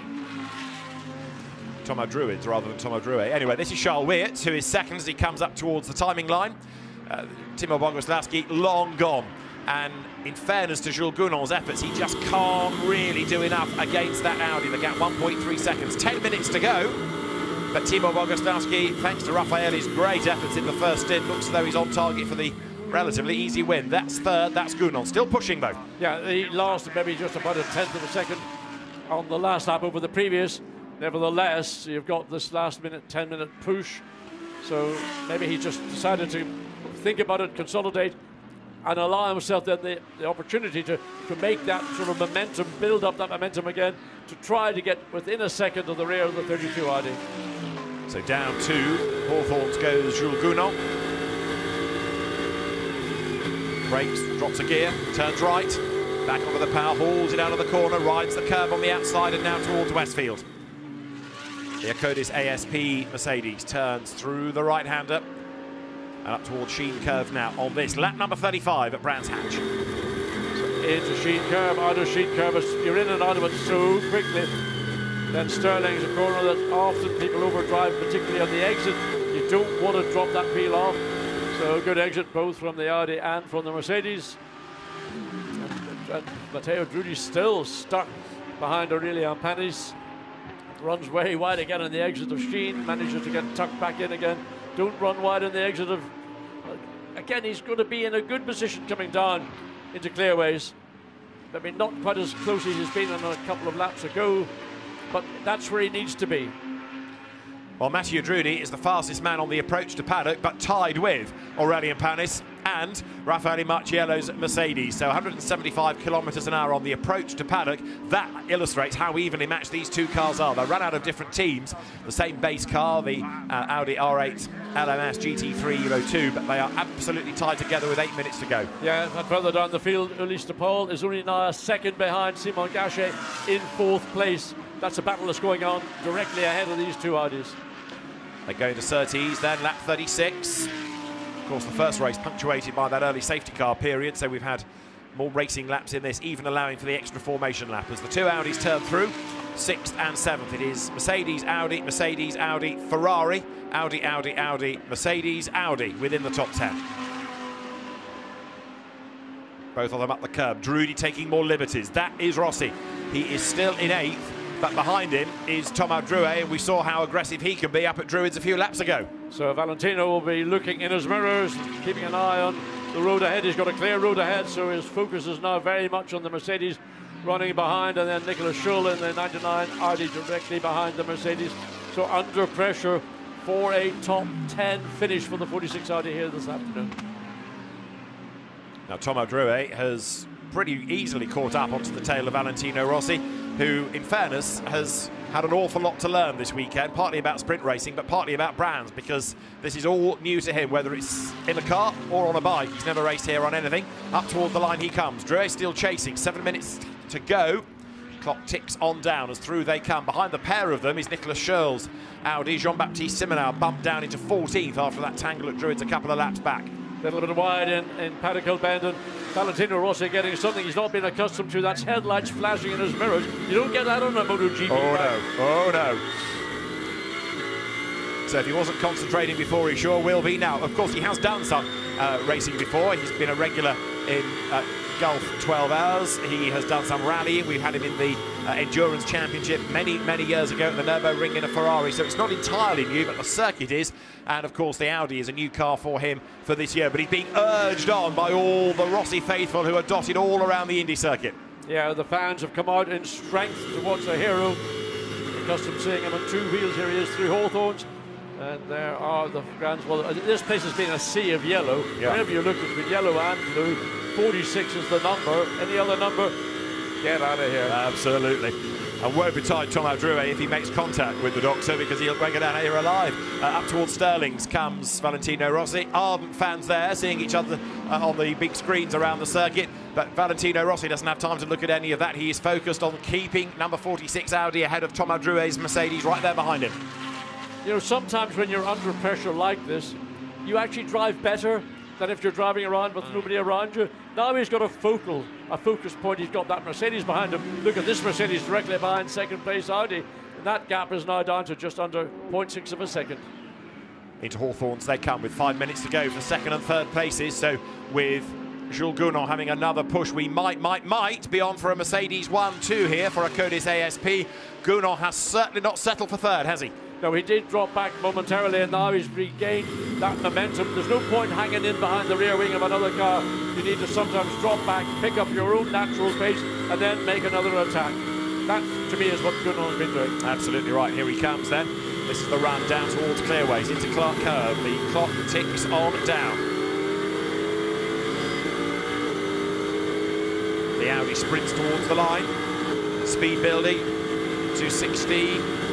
And you're looking back from Weerts at Jules Gounon, and the margin six tenths of a second. And as you look back from the Audi, in the box at the top right of the screen is Gounon's view up towards Druid. Brake change down, turn in.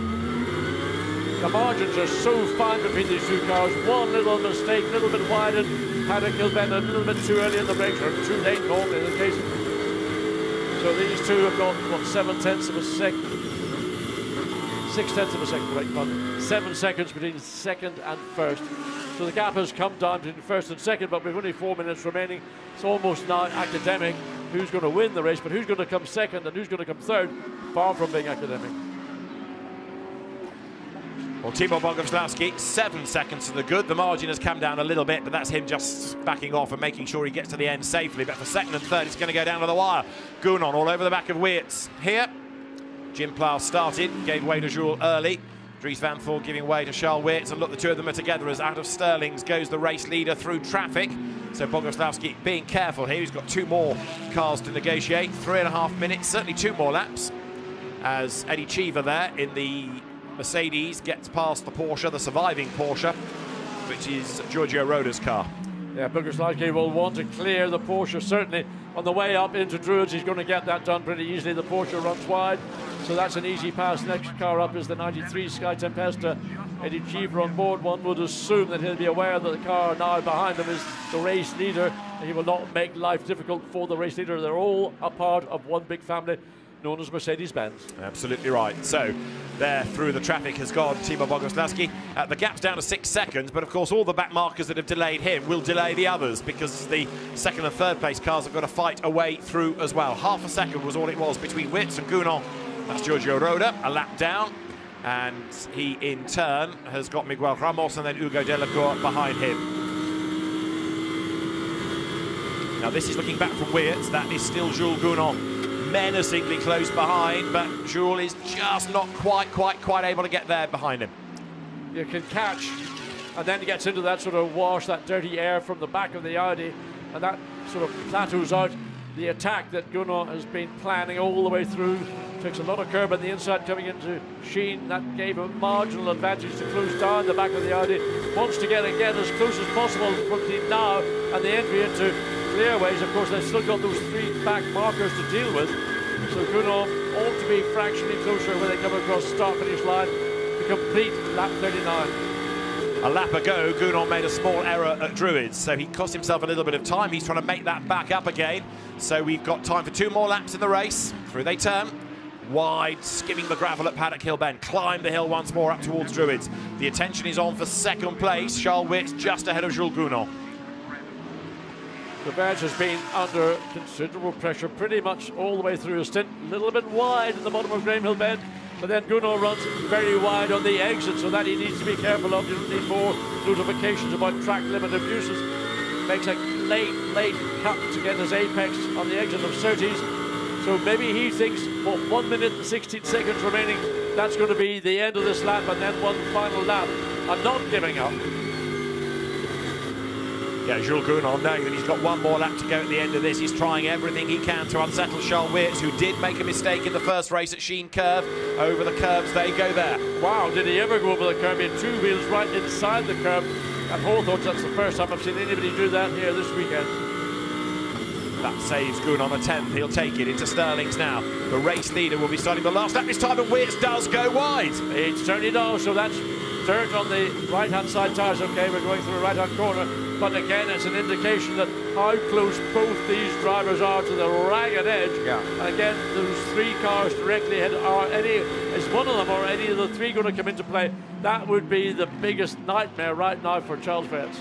So there they are. Giorgio Roda goes through ahead of Miguel Ramos, ahead of Hugo Delacour. The leader has picked his way through, but unwittingly, these back markers might, might, might change the situation for second place because if you encounter one at exactly the wrong moment, that might give an opportunity to the car behind. Let's see. Gounon is closer than ever before now. Charles Weerts is going to try and time this absolutely right. Boguslavskiy is away and gone up the road, though. He's clear. He's got no pressure whatsoever. So Charles Weerts 6.2 seconds behind, but he's thinking more about what's going on behind me. He's got a little fraction of a breathing space. This camera on board a very long lens, so the actual gap look where you sit here and looking in the rear view. This time, Jules Gounon not being as aggressive into Hawthorns. Nothing he can do. There is our race leader.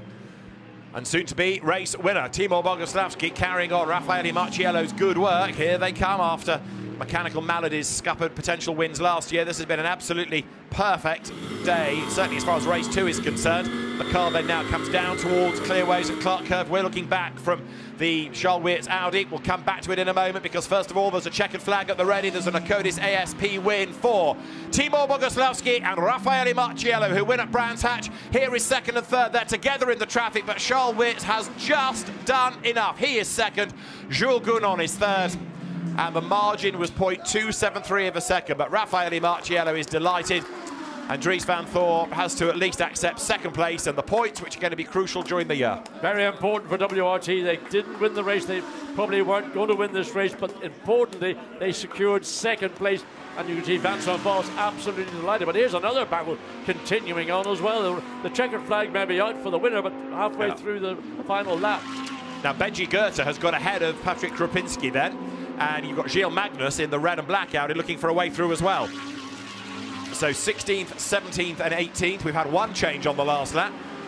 Krupinski there has dropped back, but in a way it doesn't matter. He's after the Pro-Am points, so in a way he could let Magnus go. Just make sure he banks the points for the class win. Gilles Magnus right there behind him, but uh, Krupinski, who gets better every time out, fending him off as they come down towards Clark Curve.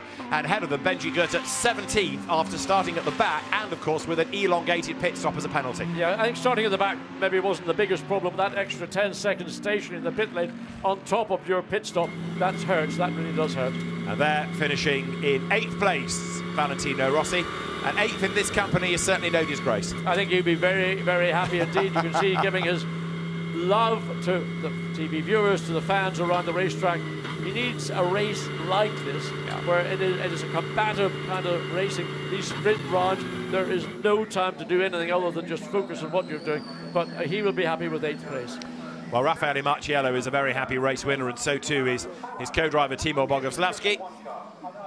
And uh, you might have thought on paper that a Gounon Pla combination was stronger, but it's Boguslavskiy and Marciello that take a race win. And Boguslavskiy did everything perfectly in that stint, didn't he? He did. Uh, He did have the benefit of having relatively clear air around him for nearly all of his stint. It was only when he came up behind a couple of back markers. So he used that to. His strength is running on his own. Well, Timo Boguslavskiy and Raffaele Marciello are our race winners. Six and a half seconds was the margin in the end, but uh, I think that was Timur making sure he got it home safely. Let's hear their thoughts now, though, with Gemma. Raffaele, you seem to set up a perfect stint there for Timur. An incredible, I think, 11 seconds you were ahead at one point. Yeah, as I said, the car felt good all the weekend. I think I did P1 in every practice and two fastest laps, so I mean, it means the car was yeah was mega. Timur, since since Kyalami is also mega quick, so I mean, uh, he's doing a mega job. The car is mega, so I, I look forward to yeah to me to Magny-Cours. Absolutely. Well done. A fantastic race. Timur. you must have enjoyed that. Yeah, so yesterday I was have a birthday. I take 22, and uh, Raffaele make a perfect present for me. So he gave me a ball and uh, 10, more than 10 seconds gap. So, but yeah, car was mega. I was uh, drive like maximum easily and without any dangerous moves. So to save the tires, maybe because of the safety car or some that happens. But yeah, everything is good. So. Thank you very much. Well done. Congratulations. So a very good birthday present, wasn't it? After uh, his birthday yesterday, Timo Boguslavskiy takes the win. And as I say, although the margin was down a bit, that was really him just backing off to make sure that uh, the car came home well. And the more seat time he has, the quicker he will get. So doing good lap times during that stint. Charles Weerts and Dries Vanthoor then finishing in second place. And I think they're going to be a bit frustrated with that, but they know how to win championships. And so the points are going to be crucial for Charles and Dries. Charles, taking in the fans there and enjoying it, but my goodness, you were certainly pressured there. Yeah, for sure. Like like we said since the beginning of the weekend, we knew that uh, we didn't have the, the fastest car, but um, yeah, definitely a lot of pressure coming from uh, from Jules. But uh, yeah, we managed to, to not make any mistakes, to stay in front, which was the the big deal here on this track. As we said before the race, Mansage is a difficult place to overtake, so without a real mistake, it's almost impossible. So yeah, really happy again. We won a position in the in the pit stop. So again, congrats to WRT. Thanks a lot for everything. And uh, yeah, that's a good start of the season. That certainly was a mega pit stop, and, and it just changed everything. Yeah, it did. I mean, uh, we, we, we boxed P3, we came out P2, so uh, Charles did a good job getting uh, dealing with the pressure at the end. Yeah, I was close with the with the truck limits at one stage, but uh, he did well. And uh, yeah, I think it was the maximum for us. Uh, P1 today uh, this race again was was not reachable for us. So um, On to the next one. we're happy with two times second, exactly. Congratulations. Well done. Great race. I think actually interesting the comments from both drivers. But in reality, if that 32 Audi had been in the lead at the start, that would have won the race, in my opinion. Yeah, I think you're probably right. So, uh, frustration, but points. And uh, let's hear next from our third placed crew because uh, Jim Pla and Jules Gounon are with Gemma. Boys, that was a, an outstanding result. Jules, just talk to us about those last few laps there. You had so much pressure on Charles. Yeah, I had a lot of sand from him in my eyes still, but uh, it was a good fight. I was really looking forward for the traffic. So unfortunately, was one lap too shy uh, the checkered flag because I think with the traffic could have been a crazy battle, you know, traffic of Pro-Am in front and, and with us. But I gave it all. I think we catch back, but wasn't enough. Good result P4 this morning, P3 this afternoon. Good point for the championship for Jim, and uh, yeah, we are still happy. Absolutely, and great to see the car performing well. I know it wasn't an easy weekend throughout. No, no, it was, it's quite it's quite difficult this weekend because it's really short, you know. Uh, everything happened on, on Saturday, so but yeah, uh, we scored good points. Uh, I took a good start uh, to, to be P4 and uh, Jules did the job at the end. So yeah, really happy to, to score some good points for the championship. Congratulations. Thanks, boys. So they will make their way to the podium. And uh, a, a job well done in difficult circumstances, in a way, for Mercedes team because the car didn't really perform as well as it should at the start of the weekend. They had to get around that problem. Timur Boguslavskiy and Raffaele Marciello win a Brands Hatch from Charles Weerts and Dries Vanthoor, with Jules Gounon and Jim Pla taking third. Good result for fourth, Simon Gachet and Christopher Haase ahead of the race one winners, Ulysse de Pauw and Pierre-Alexandre Jean. Sixth, Aurelien Panis and Patrick Niederhauser. The second of the silvers, Tom Drouet and Casper Stevenson. Uh, ninth, and the third of them, Nicholas Schöll and Alex Aka, 10th overall. As far as Pro-Am is concerned, 17th was the winning car there. The JP Motorsport McLaren of Christian Klien and Patrick Krupinski. The second of those in Pro-Am, Louis Machiels and Andrea Bertolini, ahead of the Garage 59 McLaren of Miguel Ramos and Dean MacDonald. Raffaele Marciello and Timur Boguslavskiy made that look pretty easy as they stormed clear to win the second Fanatec GT Sprint Cup race of the season. Let's have a look at the highlights of that race. And this was the key lap because it was a good start by Marciello and he just stormed away from the rest of them as the cars turned their way through Paddock Hill Bend for the first time. He came out of the right-hander with a good three or four lengths advantage and straight away the opposition was on the back foot. He left everybody else scrapping over second, third, fourth places. Drama on the opening lap that turned around Gerhard Tweraser as uh, then Nicholas Baert got into the Lamborghini. No further action was taken, but we lost with suspension dramas. Christian Engelhardt coming out of Paul Ford's. Bad weekend for the Porsches, but this was to be a good race for Mercedes. After a delayed start to the back of the grid, Thomas Neubauer was threading his way through the traffic as well, and so too was Dries Vanthoor, closing onto the back of the Saintéloc Audi of Patrick Niederhauser, but a really bad pit stop from Saintéloc would change the order there. Thomas Neubauer still attacking as he carved his way through the field. And Dries Vanthoor waited for the mechanics to complete the tyre activity before he bailed out of the way and sent Charles Weert back into the race. The race one winning Ferrari was on target for another good result as Christian Klien, doing the start stint in 1-1 while McLaren hustled his way up the order. He would lead briefly as Fred Vervisch came to the pits to give way to Valentino Rossi. After a slow pit stop, the Saintéloc Audi had fallen back into the clutches with Aurelien Panis at the wheel of it into Matteo Drudi's uh, prey, and he was looking for a way by as Krupinski ran out wide coming out of Paddock Hill Bend in the McLaren. Matthew Drudi was trying everything he could to get ahead of the Saintéloc car seat, but it just wouldn't work. Couldn't find a way through as contact here uh, turned around Jean-Baptiste Simmenauer up at the Druids hairpin. Second and third, nose to tail towards the end of the race, but it wasn't enough to change second, and they could get nowhere near Timur Boguslavskiy, who came through to give Raffaele Marciello and Akkodis ASP a maiden victory of the season. A great win for the Mercedes team with Audi second, Mercedes third. Raffaele Marciello, Timur Boguslavskiy, race winners. So let's next go to the uh, podium because the drivers are ready. And uh, now they will be called forward the SRO team making sure they've got the right drivers, they've got them in the right order, and as soon as the signal is given, out will come the uh, overall top three, and Jules Gounon and Jim Pla will step forward, hopefully, from the room behind the podium. Yeah, out comes Jim, and Jules Gounon perhaps reflecting on what might have been, but he tried hard. He did, and that certainly in the first sprint race, that poor pit stop lost them so much time, having done all the hard yards to get onto the front row of the grid in qualifying. Second place on the podium, Charles Weerts and Dries Vanthoor and their Timur Boguslavskiy. The day after his birthday, he's a race winner. And Raffaele Marciello joins him as they make their way onto the top step of the podium from Akkodis ASP. The team will be represented as well and I think it might be Jerome Policand who is there. No, I don't think it is. I haven't peered over the railings. Uh, but the trophy's presented. So there you have Jules Gounon and Jim Pla receiving the trophies with a map of Brands Hatch from the MSV chief executive, former Grand Prix racer and Group C racer Jonathan Palmer. And uh, he hands the trophies over to third, then to second, and then to the race winners as uh, there Charles Weerts and Dries Vanthoor are all smiles. But Raffaele Marciello, who is still one of the most laid-back of Italians, isn't he? Nothing seems to phase him particularly. Just waits his turn on the top step. I've never actually seen him vertical. Is that laid back. Well, there, Raffaele and Timur Boguslavskiy, they received their trophies, and uh, now there'll be a big smile, I'm sure.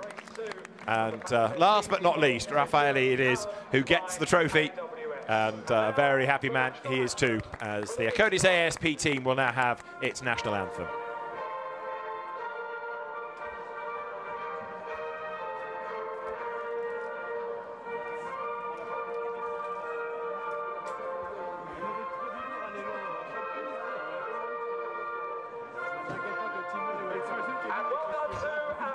So congratulations to our top three teams. The champagne is about to be sprayed, I suspect, by all of them. But uh, yeah, last year, John, we saw Raffaele Marciello have a lot of bad luck, mechanical problems, for example. But that, it, it, just nothing missed a beat.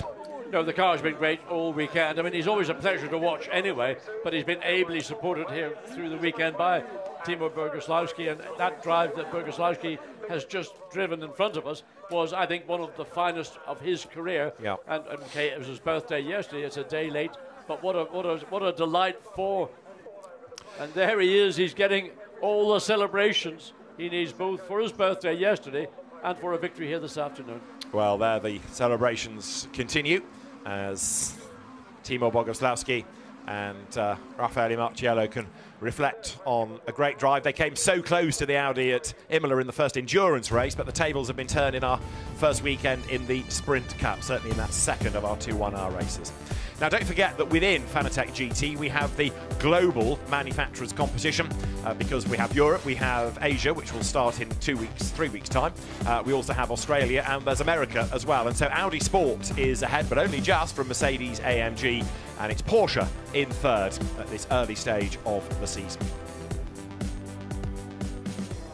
So the next uh, group of drivers we will look forward to seeing are those in silver, where again in a few moments they will be called forward and uh, for the third place Nicolas Schöll and Alex Aka for second Thomas Drouet and Casper Stevenson. But Ulysse de Pauw and Pierre-Alexandre Jean taking another victory. Now this is how we look in the Sprint Cup overall at the moment with the two races together. Timo Boguslavskiy and Raffaele Marciello the winners ahead sorry, the winners the leaders ahead of Charles Weerts and Dries Vanthoor Ulysse de Pauw Pierre-Alexandre Jean third as out come then our silvers Schöll and Alex Aka. And once more, the top step goes to Pierre-Alexandre Jean and Ulysse de Pauw. And maybe we kind of have expectations that are too high after that uh, first race overall win, but they mark themselves out as a crew to beat in silver for sure. Yeah, very impressive run all weekend by AF Corse Ferrari. Great to see the Ferrari win the first of these sprint week events and um, standing on the podium having consolidated the Silver Cup Challenge. And so the trophies will be presented in a moment as you see the uh, third crew there. On the uh, right as you look, Alex Aka and Nicholas Schöll. Second uh, for the uh, combination of Thomas Drouet and Casper Stevenson. But they're the winners, the French-Belgian partnership of Pierre-Alexandre Jean and uh, Ulysse de Pauw. And Mathieu Braga from Pirelli hands over the awards for the teams, which are sets of tyres, which are all very valuable to uh, have a free set of boots, especially in a grueling season like this. National anthem next for the winning team, AF Corse.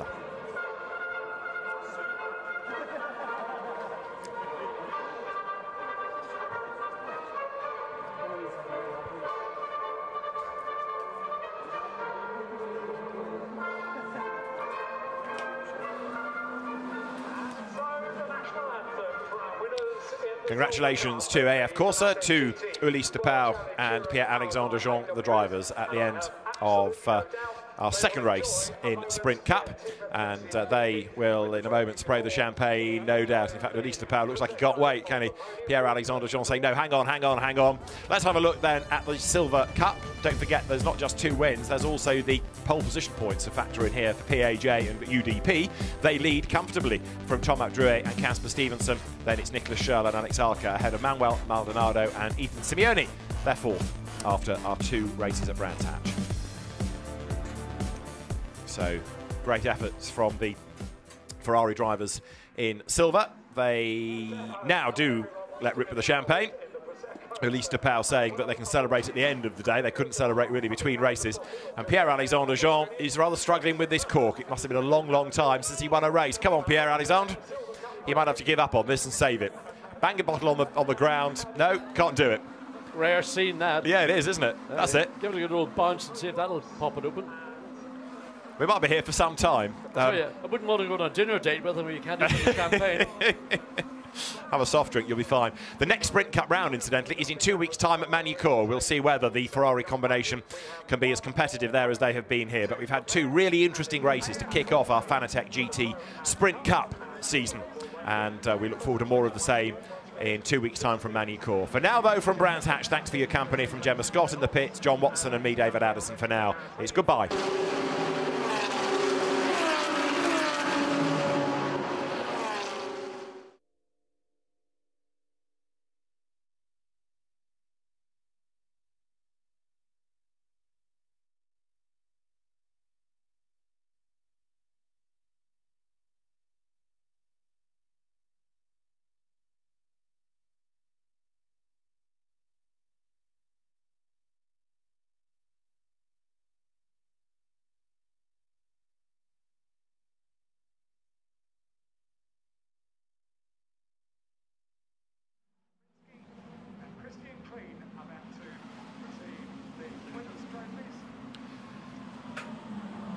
Here at Brands Hatch, we are starting lap five.